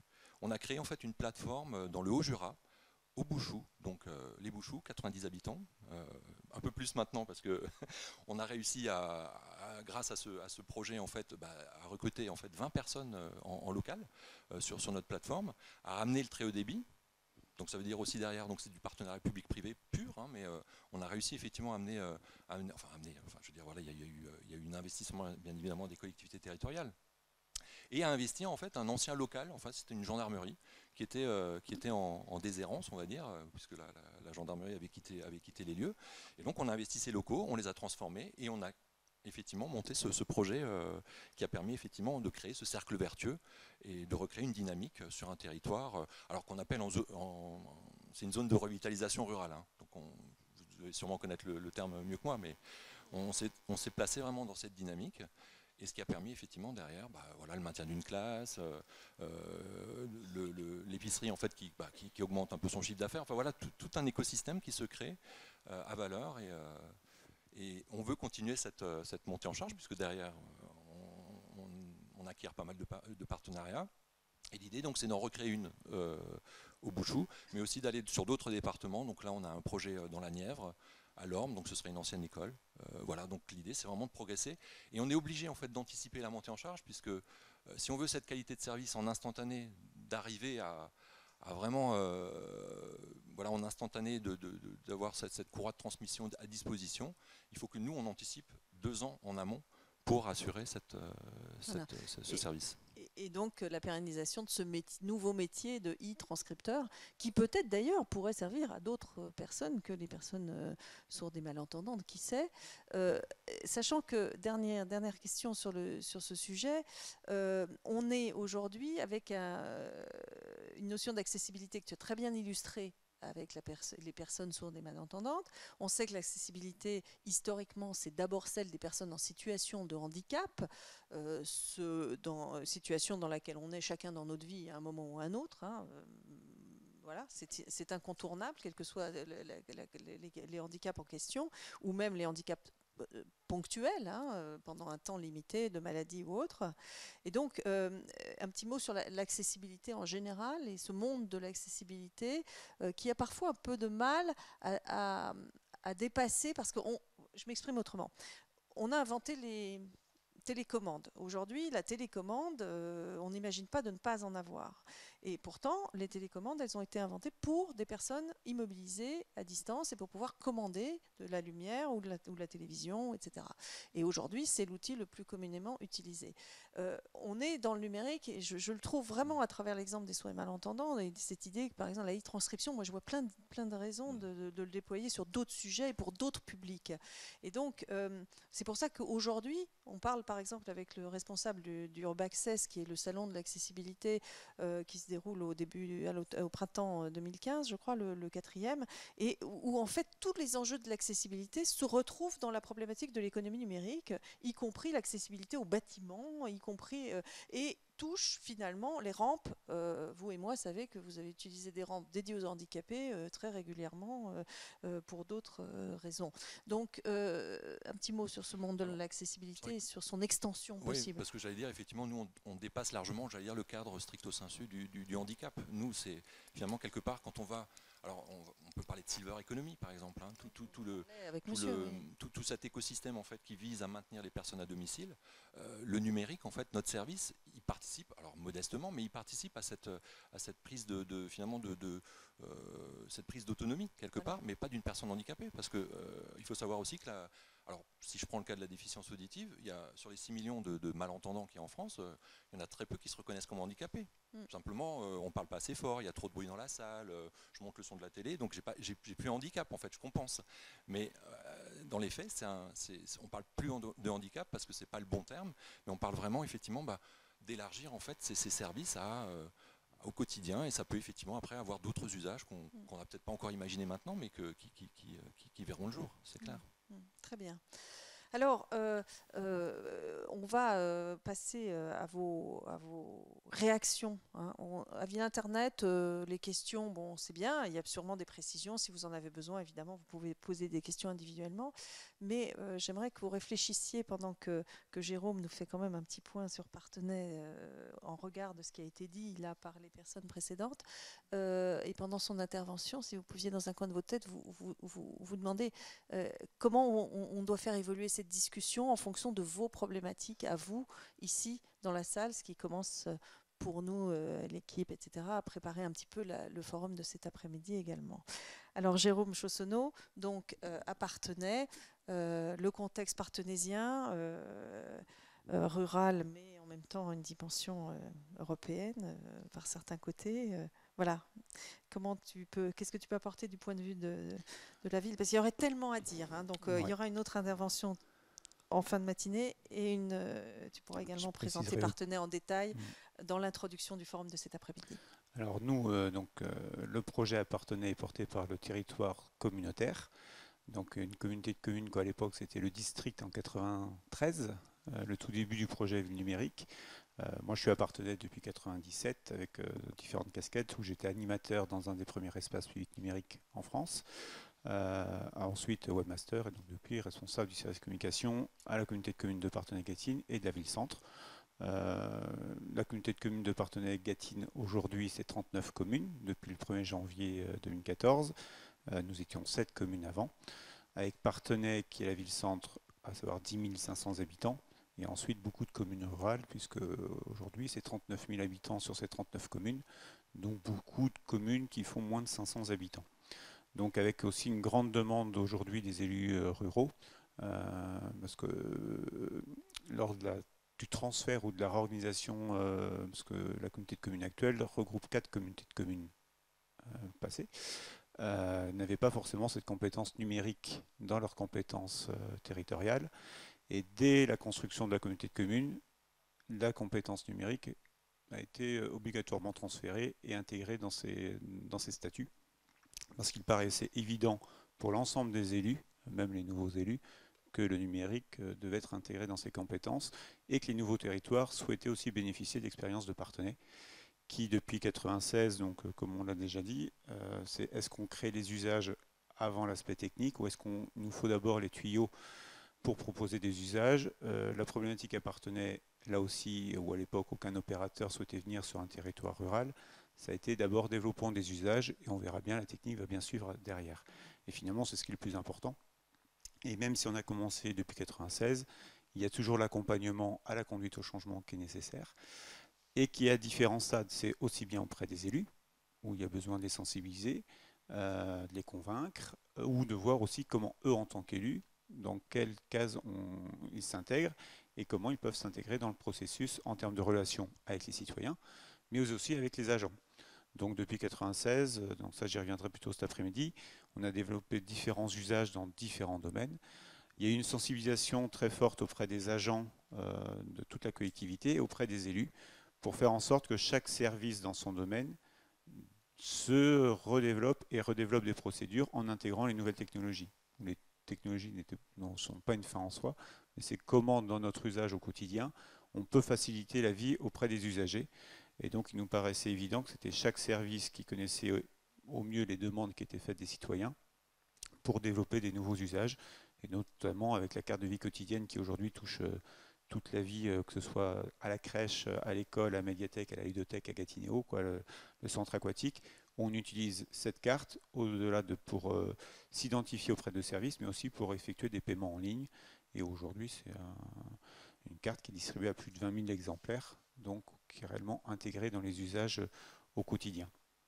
Et également, après, euh, donc ça c'est parfois des choses qui ne se voient pas, c'est aussi le développement de l'intranet, parce qu'aussi dans les collectivités c'est aussi important, de faciliter, de développer un maximum de services numériques euh, en interne qui nous permettent de gagner du temps.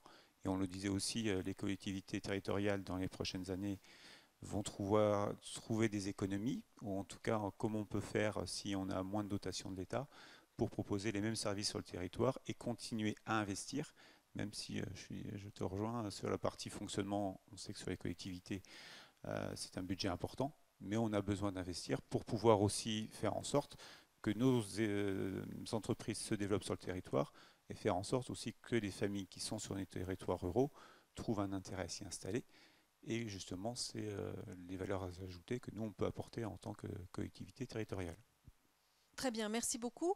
Euh, alors, euh, je vais me lever, si ça pose pas trop de problèmes, pour nos caméramans, que je remercie du travail et de l'exercice qu'ils font pour que cette retransmission se passe bien, pour aller vers vous, voir ce que vous avez à nous dire. Et pendant ce temps, pendant que je me lève, on prépare, on réfléchit, hein, après on se lève et puis après on va parler ensemble.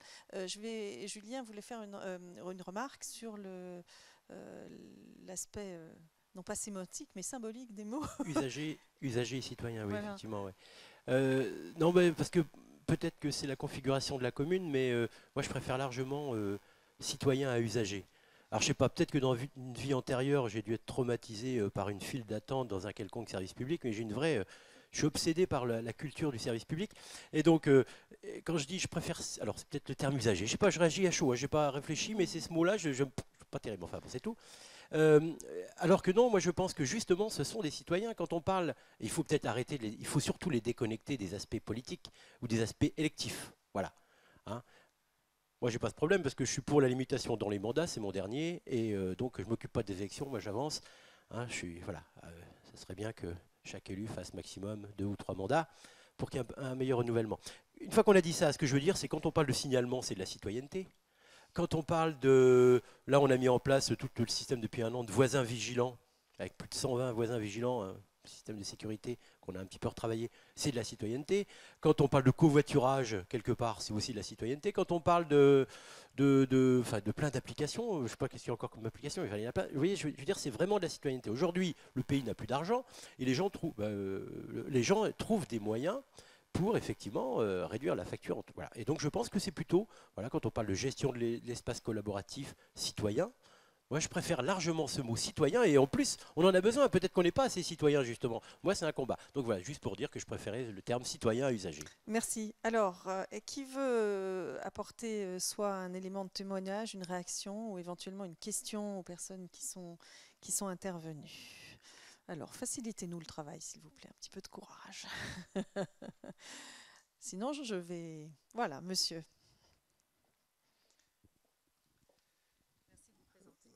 Bonjour, Daniel Grassino, donc le maire de cette commune, cette charmante commune qui vous accueille. Euh, je voulais vous poser une question parce que par rapport aux différents témoignages qu'il y a, il y a quand même différentes expériences qui se sont faites. Et euh, ma question, c'est la suivante, à savoir que, je crois que quelqu'un l'a soulevé, être accompagné. Accompagné, c'est-à-dire avoir une trame, une trame pour élaborer soit, je dirais, euh, un schéma directeur, puisqu'il y a des expériences qui sont différentes et qui sont complémentaires en fonction euh, plus rural, moins rural, urbanisme, enfin bref, différentes choses et différents services aussi adaptés aux besoins. Et donc, souvent, bon, on a des prestataires ou qui, ont certaines qualités, mais avoir un fil conducteur, parce qu'il y a l'outil, on parle de l'outil, mais après, derrière, si on n'a pas le contenu, une bonne trame, j'ai peur que mais qu'on s'arrête un petit peu au milieu du guet et qu'à un moment donné, euh, l'outil qu'on a mis en place ne corresponde pas forcément aux attentes. Donc euh, voilà, je voulais dire, est-ce que vous, comment vous avez, disons, conduit votre schéma directeur, euh, sur qui ou comment vous vous êtes appuyé pour arriver à certains résultats qui sont quand même intéressants Alors, question à notre directeur des systèmes d'information. Là, la, principale qualité, à, mon avis, d'une équipe, euh, d'une DSI, euh, ça, change de nom en ce moment, mais la principale qualité d'un être humain qui travaille dans une équipe euh, informatique, une équipe technique en général, c'est l'empathie. C'est la capacité de comprendre qui est l'autre, qui nous exprime un besoin, de comprendre son métier, de comprendre ses besoins et de transcrire ses besoins, de l'aider à transcrire ses besoins dans une expression de besoin.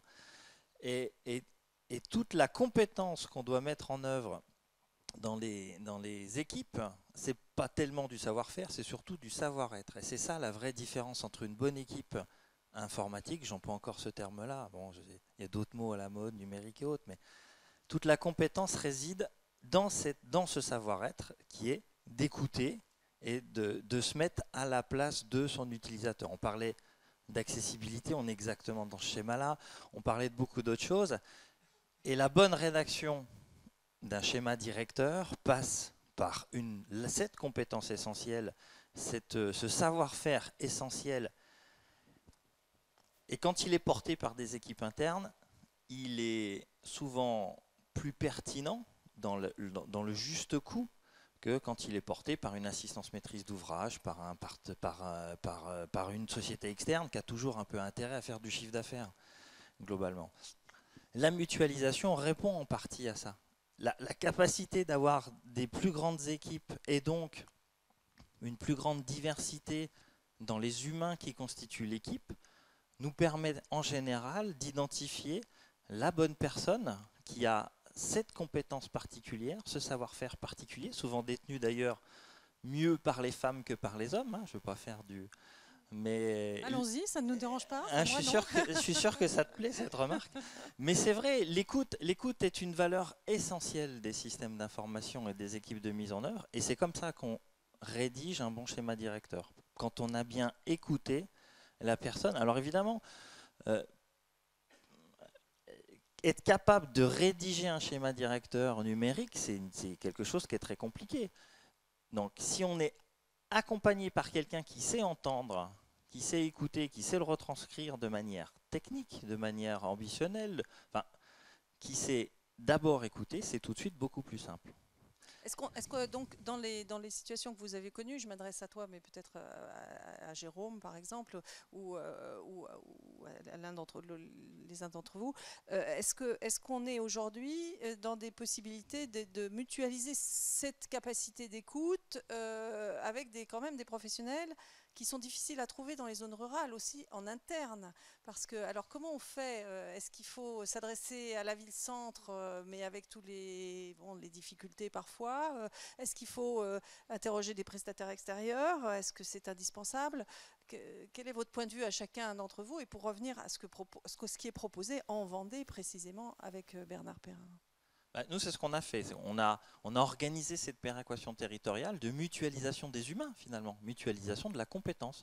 On avait une, une assez forte équipe informatique et télécom, et, enfin DSI en sens large, au sein de la ville-centre. Elle a d'abord été mutualisée avec l'institution communauté d'agglo, et tout de suite, les communes se sont dit, mais on, a besoin de vous pour exprimer nos besoins, on a besoin de vous parce qu'on a le sentiment de temps en temps de se faire un peu avoir par euh, des sociétés externes et de se faire surfacturer ou euh, des prestations parce qu'on n'y comprend rien, parce que c'est pas notre métier, parce que l'informatique c'est compliqué, parce que les télécoms c'est compliqué, parce que l'aménagement numérique du territoire, on ne sait pas par quel bout le prendre.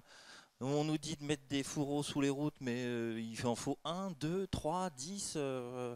donc L'idée, elle est bien là. L'idée est de dire, en mutualisant les équipes, on arrive à augmenter la taille critique de l'équipe et donc de professionnaliser chacun des métiers que constitue une DSI. Et quand on la professionnalise, on la monte en expertise elle est plus pertinente, elle est plus efficace, elle est moins coûteuse. Et de temps en temps, on a besoin de se faire accompagner par des prestataires, évidemment.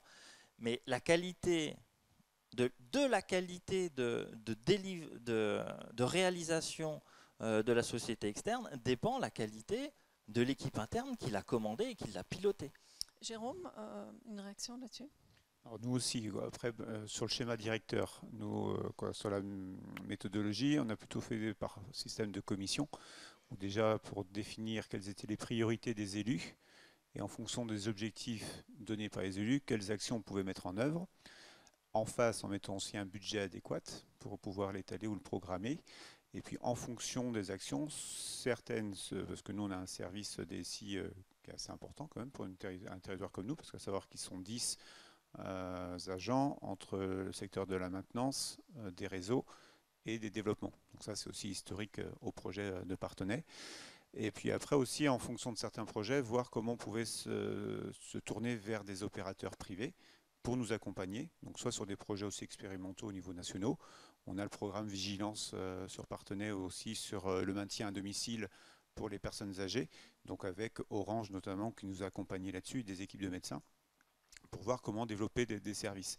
Et puis après aussi en termes de mutualisation, comme je disais, le, le, territoire numérique est un service mutualisé, ou donc notamment sur l'achat de logiciels, en général c'est la communauté de communes qui finance cet achat et qui ensuite est partagé entre budgétairement avec l'ensemble des communes. Et donc là aussi, on, gagne en termes de coûts. Euh, donc là, après, tout dépend, je dirais, les projets. Certains projets sont réellement menés de A à Z en interne, euh, par les équipes internes. Et pour certains, ben, on fait appel aussi à des partenaires privés, parce que parfois, ben, aussi des solutions existantes. Il ne sert à rien d'acheter des solutions ou de développer une solution si elle existe sur le marché, qui reviendra moins cher pour la collectivité. Donc tout dépend un peu de telle ou telle orientation. Christophe, alors du point de vue du, partenaire privé, mais aussi peut-être de l'élu. Euh. Ce qu'on observe, on, observe plusieurs choses. En vérité, d'abord, on observe que l'évolution des technologies rend moins compliqué l'accès aux solutions. Euh, d'abord parce que le nombre de solutions proposées euh, par les prestataires est plus important et souvent à un prix plus abordable qu'il y a quelques années, mais aussi l'arrivée du cloud computing. Euh, enfin, c'est terminé, je pense, le temps où, y compris les grandes collectivités, ont des dizaines de développeurs pour développer leurs propres solutions informatiques comme c'est en train de se terminer le temps où l'informatisation dans les collectivités territoriales, c'est une juxtaposition de logiciels métiers les uns à côté des autres qui ne se parlent pas entre eux. On est vraiment dans l'ère de la mise en œuvre de plateformes, euh, de plateformes euh, qui vont permettre les échanges entre le citoyen euh, et la collectivité d'une part, dans le travail interne de la collectivité, dans le travail des collectivités entre elles et avec leurs partenaires, hein, avec l'État aussi, et les chantiers de dématérialisation imposés par l'État aux collectivités euh, montrent bien ça aussi. Euh, et donc, ce qu'on observe, c'est que le champ euh, des informaticiens, bien sûr c'est important d'avoir des informaticiens qui puissent guider un certain nombre d'actions, donner leur point de vue dans le choix de solutions, pourquoi pas. Mais ce qu'on observe quand même, c'est que de la direction informatique, on est passé à la direction des systèmes d'information et que maintenant, de plus en plus, on a des directions pour les usages numériques, y compris avec des élus qui portent ces sujets.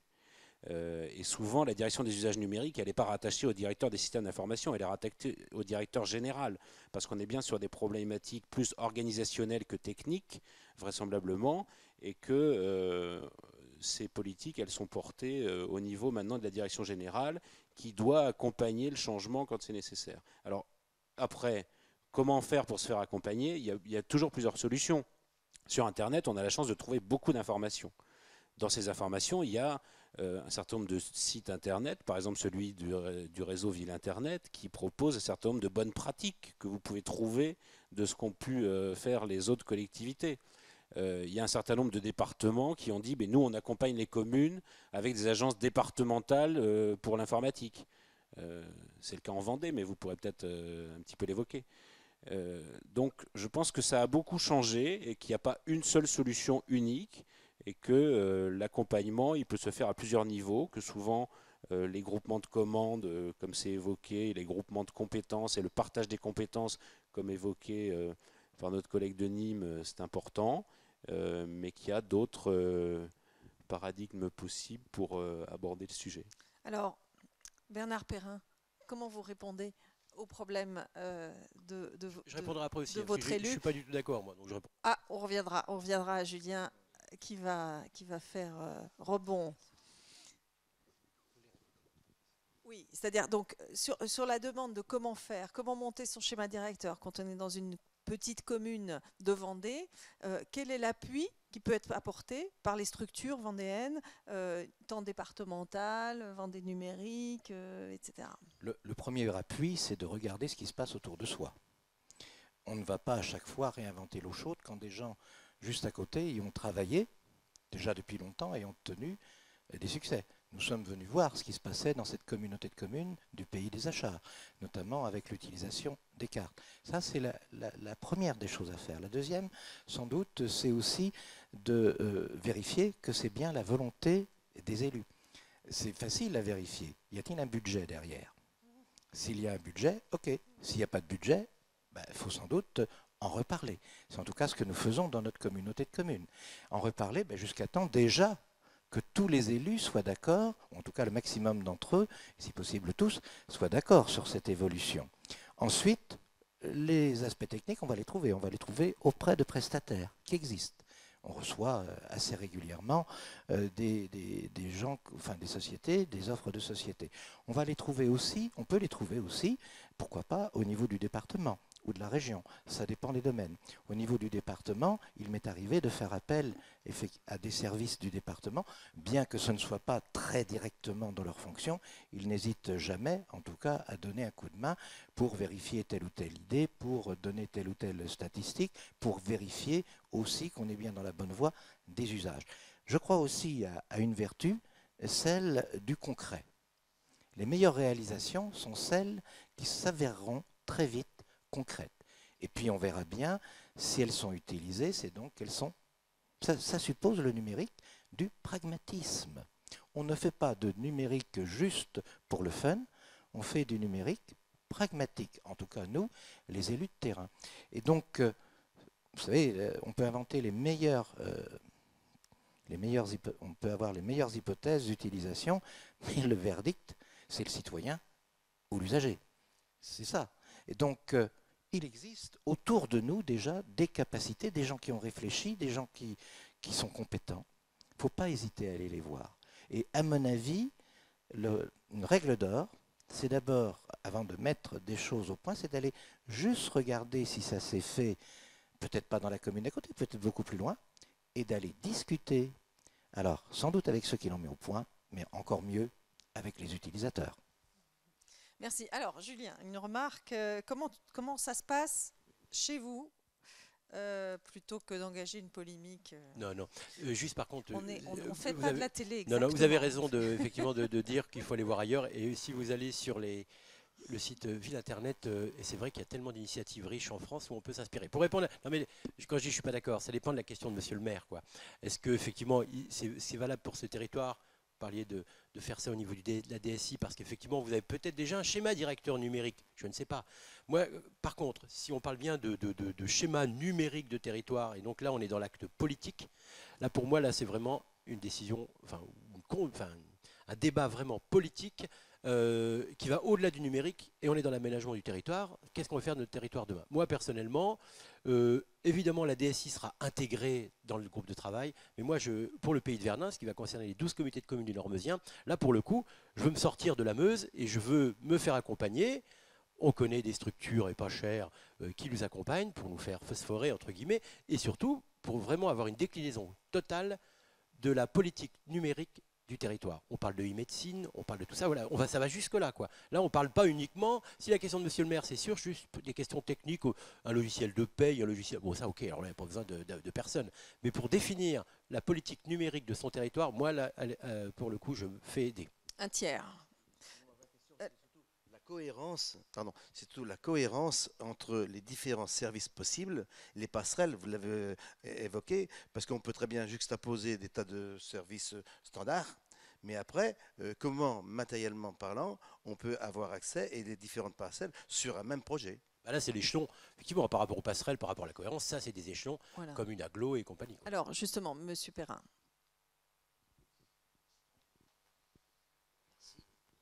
Oui, euh, en ce qui concerne euh, effectivement les, usages, il ne peut pas y avoir d'usage si parallèlement il n'y a pas des évolutions techniques et technologiques, et notamment au niveau des réseaux. Parce que quand même, on l'a peut-être un petit peu oublié, on peut inventer tout ce qu'on veut sur son propre territoire, généralement la commune, la communauté de communes, voire le pays, mais si on n'a pas des réseaux, si le pays, si l'ensemble du territoire, pour nous la Vendée, n'est pas irrigué, qu'est-ce qu'on fait? Ça veut dire que, et là, le risque de rupture est particulièrement grave. Si j'en juge parce que j'ai vu en Vendée, les grands opérateurs se sont d'abord intéressés à la Roche-sur-Yon et au pays des Olonnes. Point. Les deux pays, les deux, régions les plus, évidemment les plus peuplées. Et les autres, point barre, rien. Et là, il faut qu'à un moment donné, évidemment, la collectivité publique prenne ses responsabilités, parce que du coup, la rupture technologique, la cassure même, elle est évidente. En tout cas, nous, en Vendée, notre volonté, c'est de n'avoir aucun territoire, rural en particulier, de laisser pour compte. Ça suppose donc que la collectivité, c'est ce que nous avons fait, prenne en compte les grands réseaux, les grandes infrastructures, prenne en compte cette toile pour la diffuser le plus possible.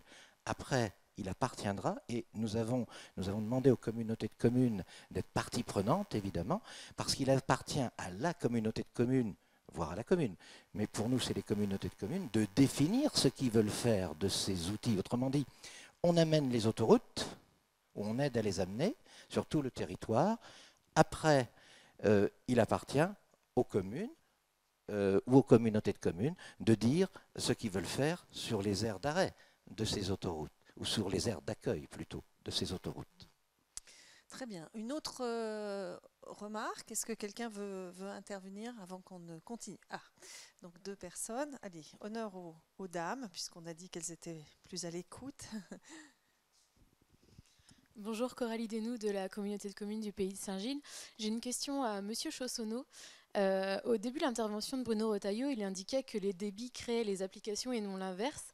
Et si j'ai bien compris ce que vous nous avez dit, vous partiez plutôt dans le sens inverse, que les usages permettraient ensuite d'amener euh, le débit nécessaire.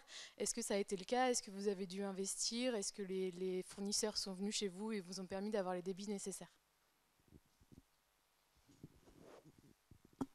Donc c'est vrai qu'en 96, donc on était sur les modems, euh, petits modems.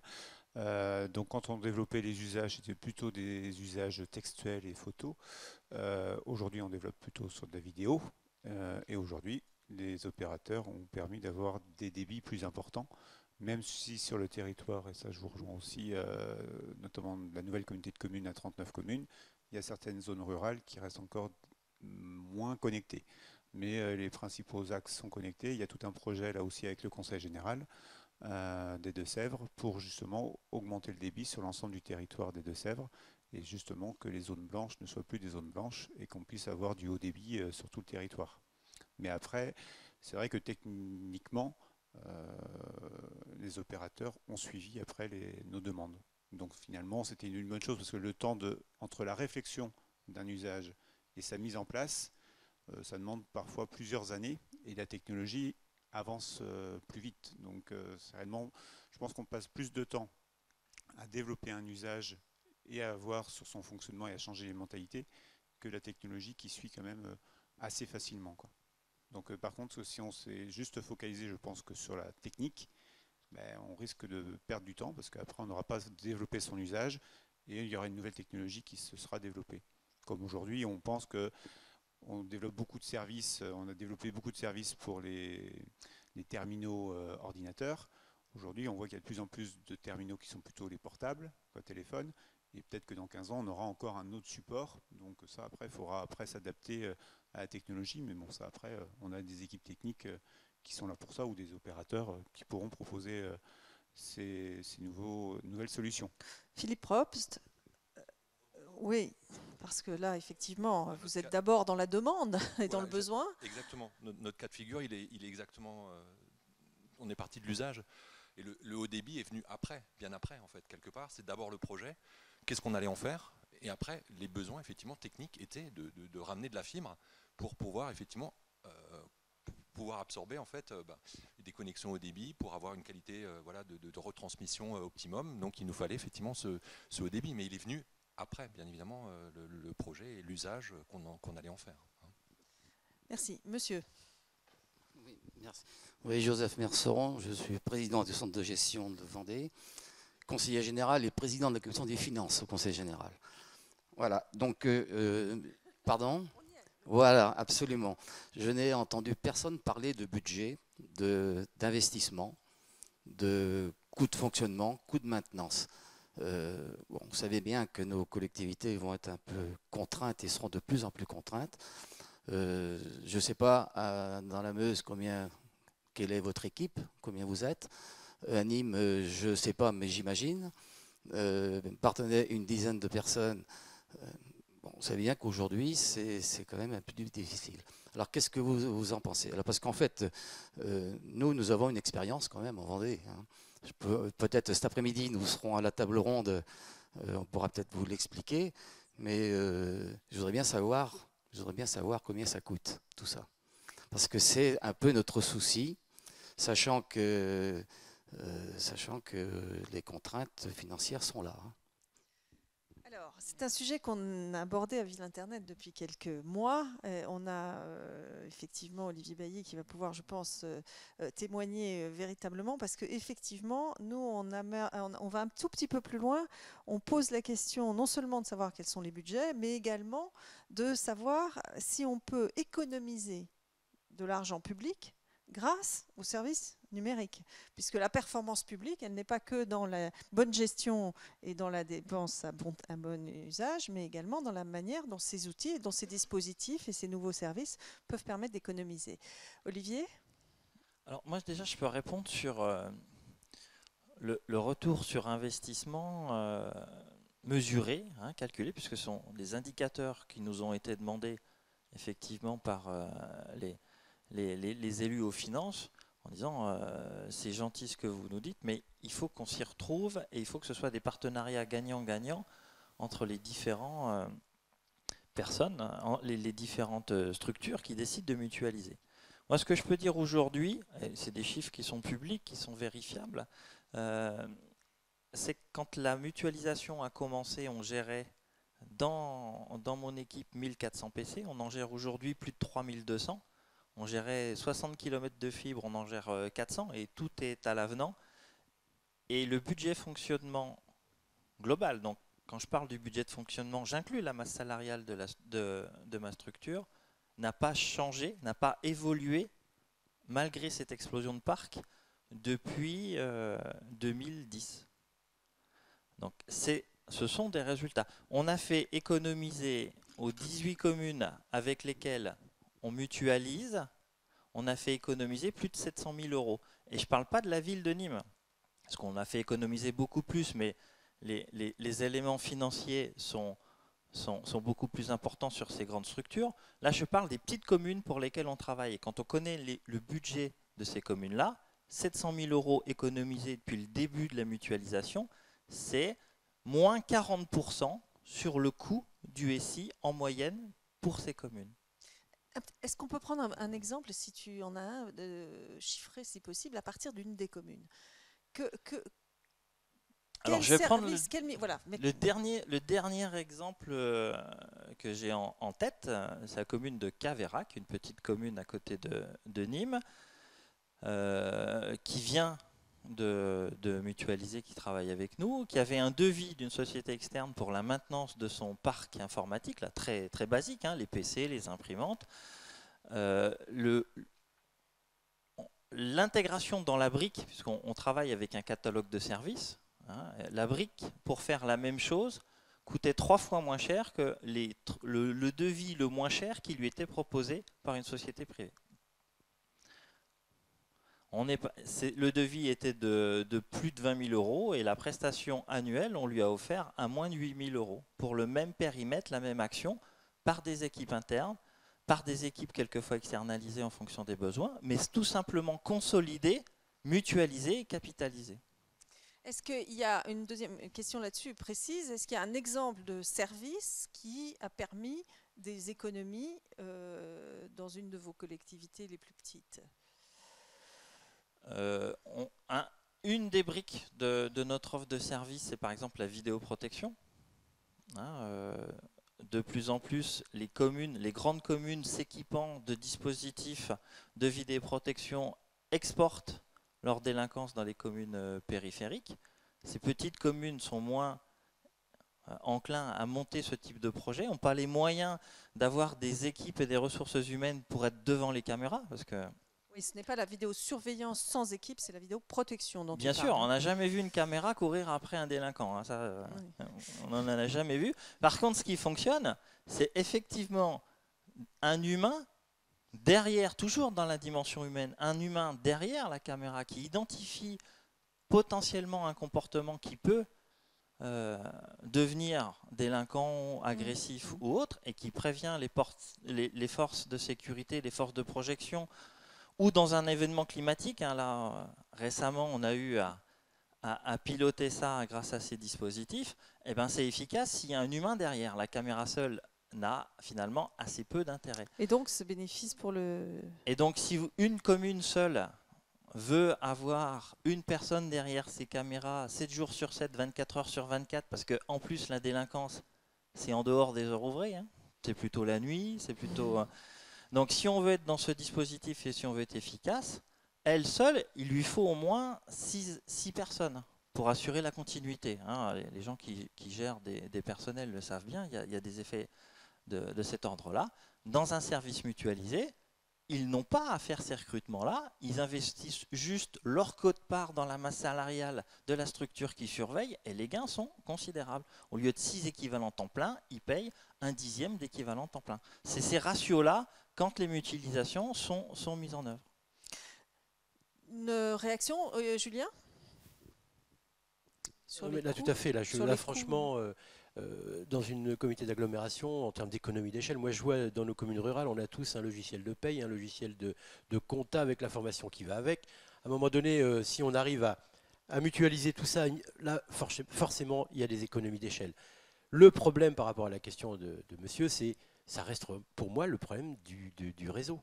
Euh, le problème il est là parce que je veux dire nous en Meuse si on voulait fibrer demain 2025 euh, ça coûte 190 millions d'euros et que même si on a des fonds FSN et compagnie il restera peut-être 30% de, à la charge du département et 30% de 190 millions d'euros pour un département qui n'a une densité de population que 30 habitants. Alors imaginez les plaques FTTH sur un département de 30 tout à l'heure monsieur le président parlait d'une grosse densité de population ici. Nous on est à 30 190 000 habitants, il y a plus de vaches que d'habitants, et c'est vrai.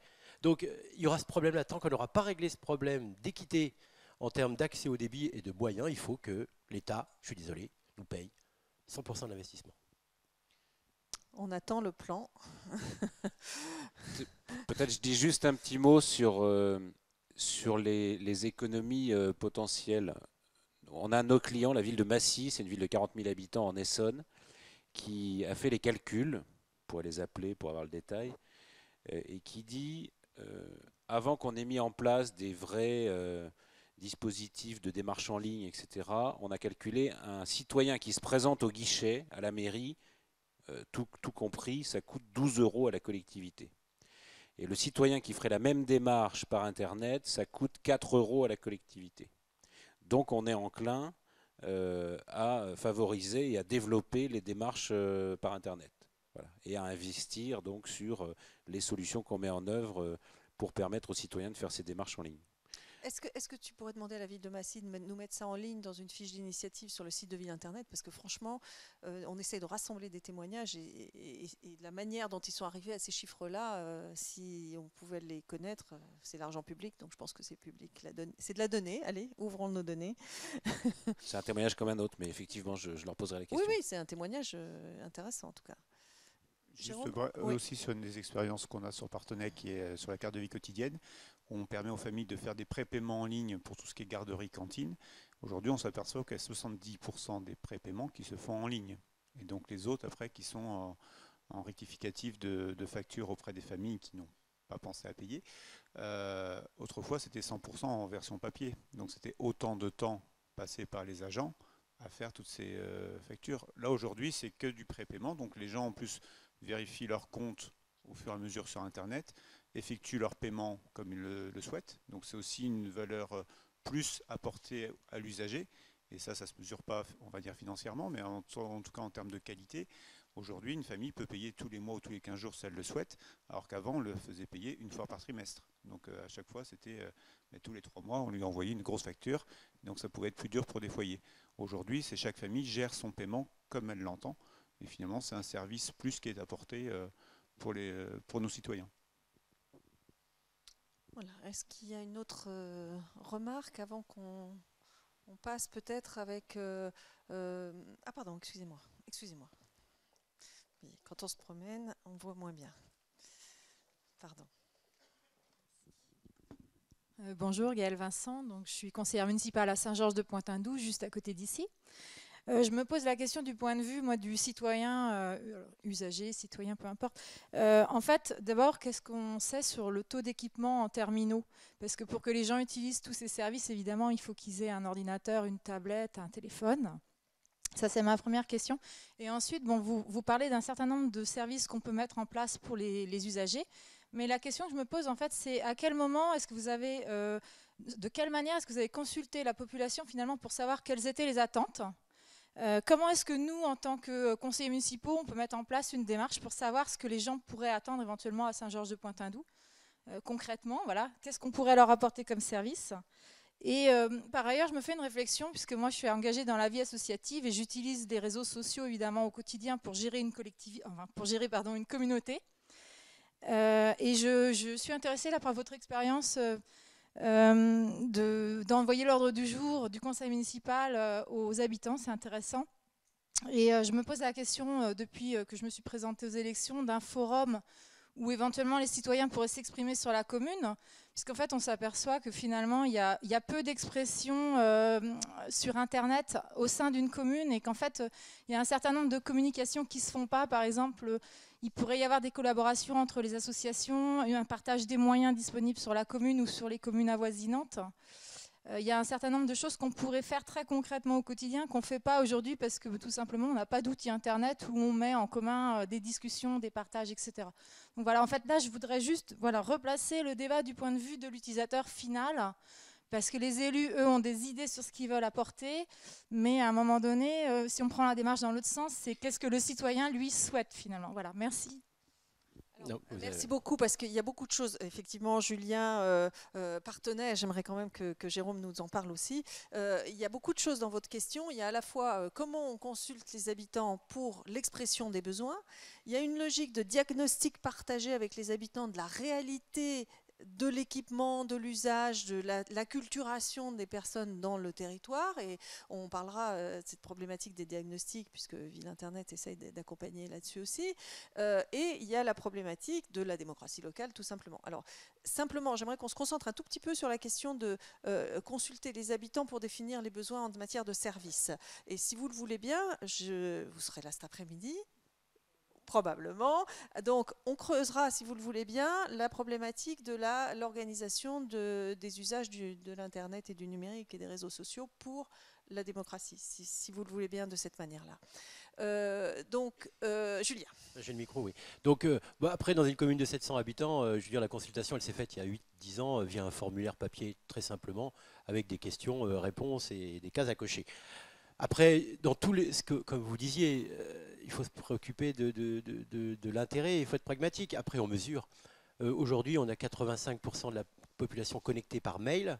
Après, on a des outils gratuits pour remesurer le taux de retour. Euh, voilà. Et puis après, les alertes SMS qu'on a mis en place, ça c'est un service, on n'a même pas besoin de demander l'avis à la population. Hein. Quand on, vous savez, dans les communes rurales, on doit prévenir quand il y a une alerte météo. Soit on prend son vélo, soit on fait sonner les cloches, ou soit on trouve d'autres moyens. Donc là, les alertes SMS, il y a 94% des numéros de portable et les doyens de la commune, ils, nous ont donné leur numéro de portable. Dès qu'il y a un problème d'ordure ménagère, de ramassage scolaire, de voilà, derrière il y a cette alerte SMS. Donc on demande, mais nous c'est via un formulaire très simple, et derrière après euh, on mesure. Il faut mesurer, voilà, par rapport à la démocratie entre guillemets ou par rapport à l'échange. Nous on est beaucoup sur les réseaux sociaux. Euh, donc euh, Facebook, Twitter et compagnie. Mais enfin, c'est surtout sur Facebook, à la limite, où on peut être un petit peu chahuté, mais il faut accepter. Hein, je veux dire, comme vous parliez, je sais plus qui parlait tout à l'heure du 1-0 et du D0, il faut que l'élu comprenne que si on va sur Facebook, il faut accepter la contradiction. Hein. De toute façon, si on ne va pas sur Facebook, notre ville, elle y est quand même. Hein. On parle de nous sans y être. Donc voilà. C'est surtout sur les réseaux sociaux, parce qu'après, dans des communes, je ne sais pas combien d'habitants chez vous, mais dans les communes comme nous, 700 000, dans les communes 700 000, là, euh, soit ils viennent, soit ils envoient des mails. Euh, y a, on n'a pas besoin de mettre de forum, franchement, euh, on n'a pas jugé utile avec eux de mettre des forums. Alors, Jérôme Partenay, une histoire sur la démocratie quand même forte. Alors, sur la mise en place du projet Ville numérique, au tout début, on était dans le cadre de programmes européens, où donc on avait notamment le projet Metasa, qui était accompagné avec une équipe de chercheurs qui était l'équipe du CIE de Toulouse, le Mirail, ou donc plutôt des sociologues et géographes. Aujourd'hui dirigé par Emmanuel, président de Ville Internet. Et donc qui était déjà aussi préoccupé par cette problématique plus des usages que de la partie technologique. Parce qu'on avait l'autre programme en parallèle qui était le programme Mind, où là qui était plutôt un programme euh, accompagné par des consortiums d'industriels tels que Microsoft, euh, Philips, Orange et autres. Et donc, dans le cadre du programme de recherche avec l'équipe de, chercheurs en sciences sociales et, en géographie, il y a eu toute une enquête de mener auprès de la population. Donc, nous, à l'époque, c'était sur le Partenay District, donc ça faisait un peu plus de 15 000 habitants. Donc il y a eu des questionnaires aussi bien papier et donc après, dans ces questionnaires, donc moi j'y étais pas à l'époque, hein, mais où il y a eu toute une effervescence qui a été mise en place, où avec le retour de ces questionnaires, était demandé aussi euh, si les personnes souhaitaient participer à des groupes de travail. Donc ça, après, il y a eu différents groupes de travail qui ont été constitués, avec différentes thématiques, et c'est lors de ces euh, concertations où des besoins ou des expressions se sont fait, euh, ont émergé. À savoir après, ce qui était hyper intéressant dans cette enquête, c'est qu'il y avait très peu d'utopistes, et les gens étaient vraiment euh, dans des choses concrètes sur ce que pouvait hein, pragmatique. et il y avait après quelques réticents à l'usage des technologies. Et finalement, aujourd'hui, quand on aperçoit 20 ans après finalement l'usage des pratiques, on s'aperçoit que les gens pragmatiques avaient raison et qu'on a apporté des usages hum, concrets.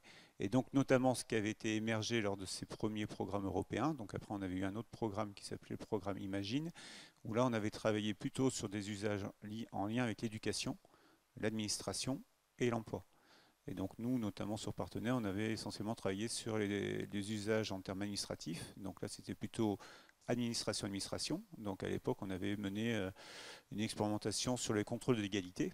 Aujourd'hui, euh, on a acte, mais euh, nous, à l'époque, on avait essuyé les plates donc, avec la sous-préfecture et, la collectivité. Et après, on avait mené donc, des actions plutôt en lien avec l'éducation, donc ne serait-ce que sur comment inscrire son enfant à l'école, donc en ligne, sur les paiements. Et c'est là aussi où avaient émergé ces, questionnements ou ces demandes des familles de pouvoir payer en ligne au fur et à mesure qu'elles le souhaitaient.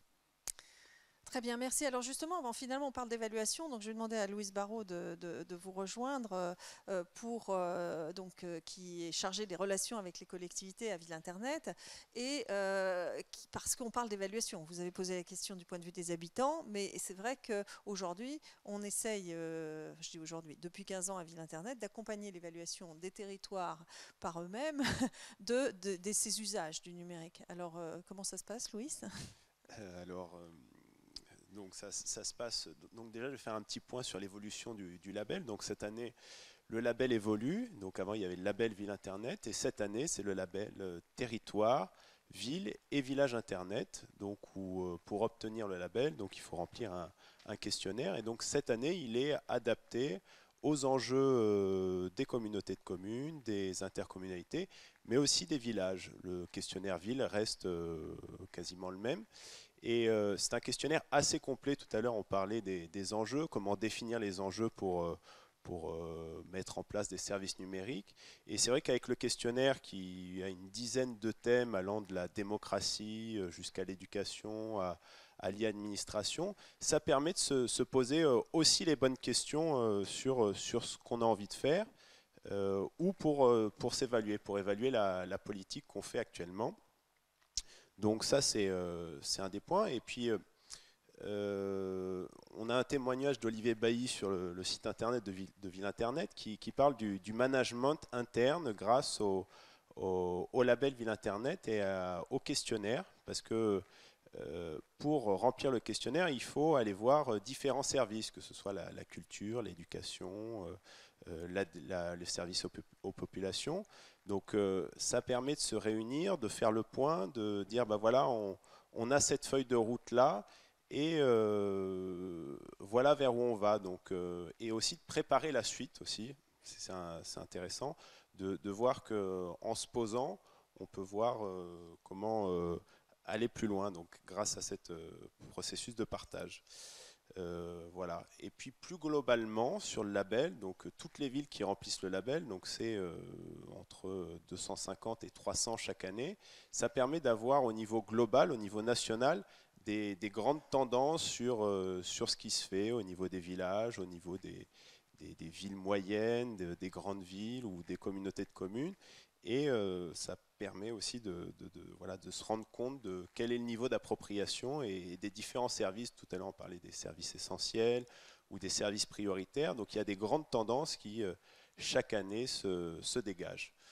Euh, voilà ce que je peux dire sur le, sur le label. On rappellera euh, qu'il va être remis cette année à Mérignac. donc dans, une, dans la communauté d'agglomération de Bordeaux. Et ce sera probablement début février, tout début février, donc remis du label Ville Internet à Mérignac. On vous donnera bien sûr toutes les informations. Le questionnaire est ouvert actuellement. N'hésitez pas, il a été simplifié grâce à la collaboration de l'Association des maires ruraux de France pour les villages. Et donc, on, laisse la parole aux, villages et à ceux qui, portent ces problématiques pour s'exprimer librement sur les sujets qui, qui, les concernent et sur les initiatives qu'ils ont menées, le questionnaire s'appuie sur un témoignage d'initiative. Et à moins que quelqu'un veuille ajouter un mot sur ce sujet, euh, je n'aurais pas l'impudeur de vous questionner sur la valeur pour vous les uns et les autres de ce label Vie Internet. Vous y participez depuis longtemps, euh, y compris certains dans la salle. Donc euh, je voudrais introduire la vision de Pierre Pérez que j'ai présentée tout à l'heure.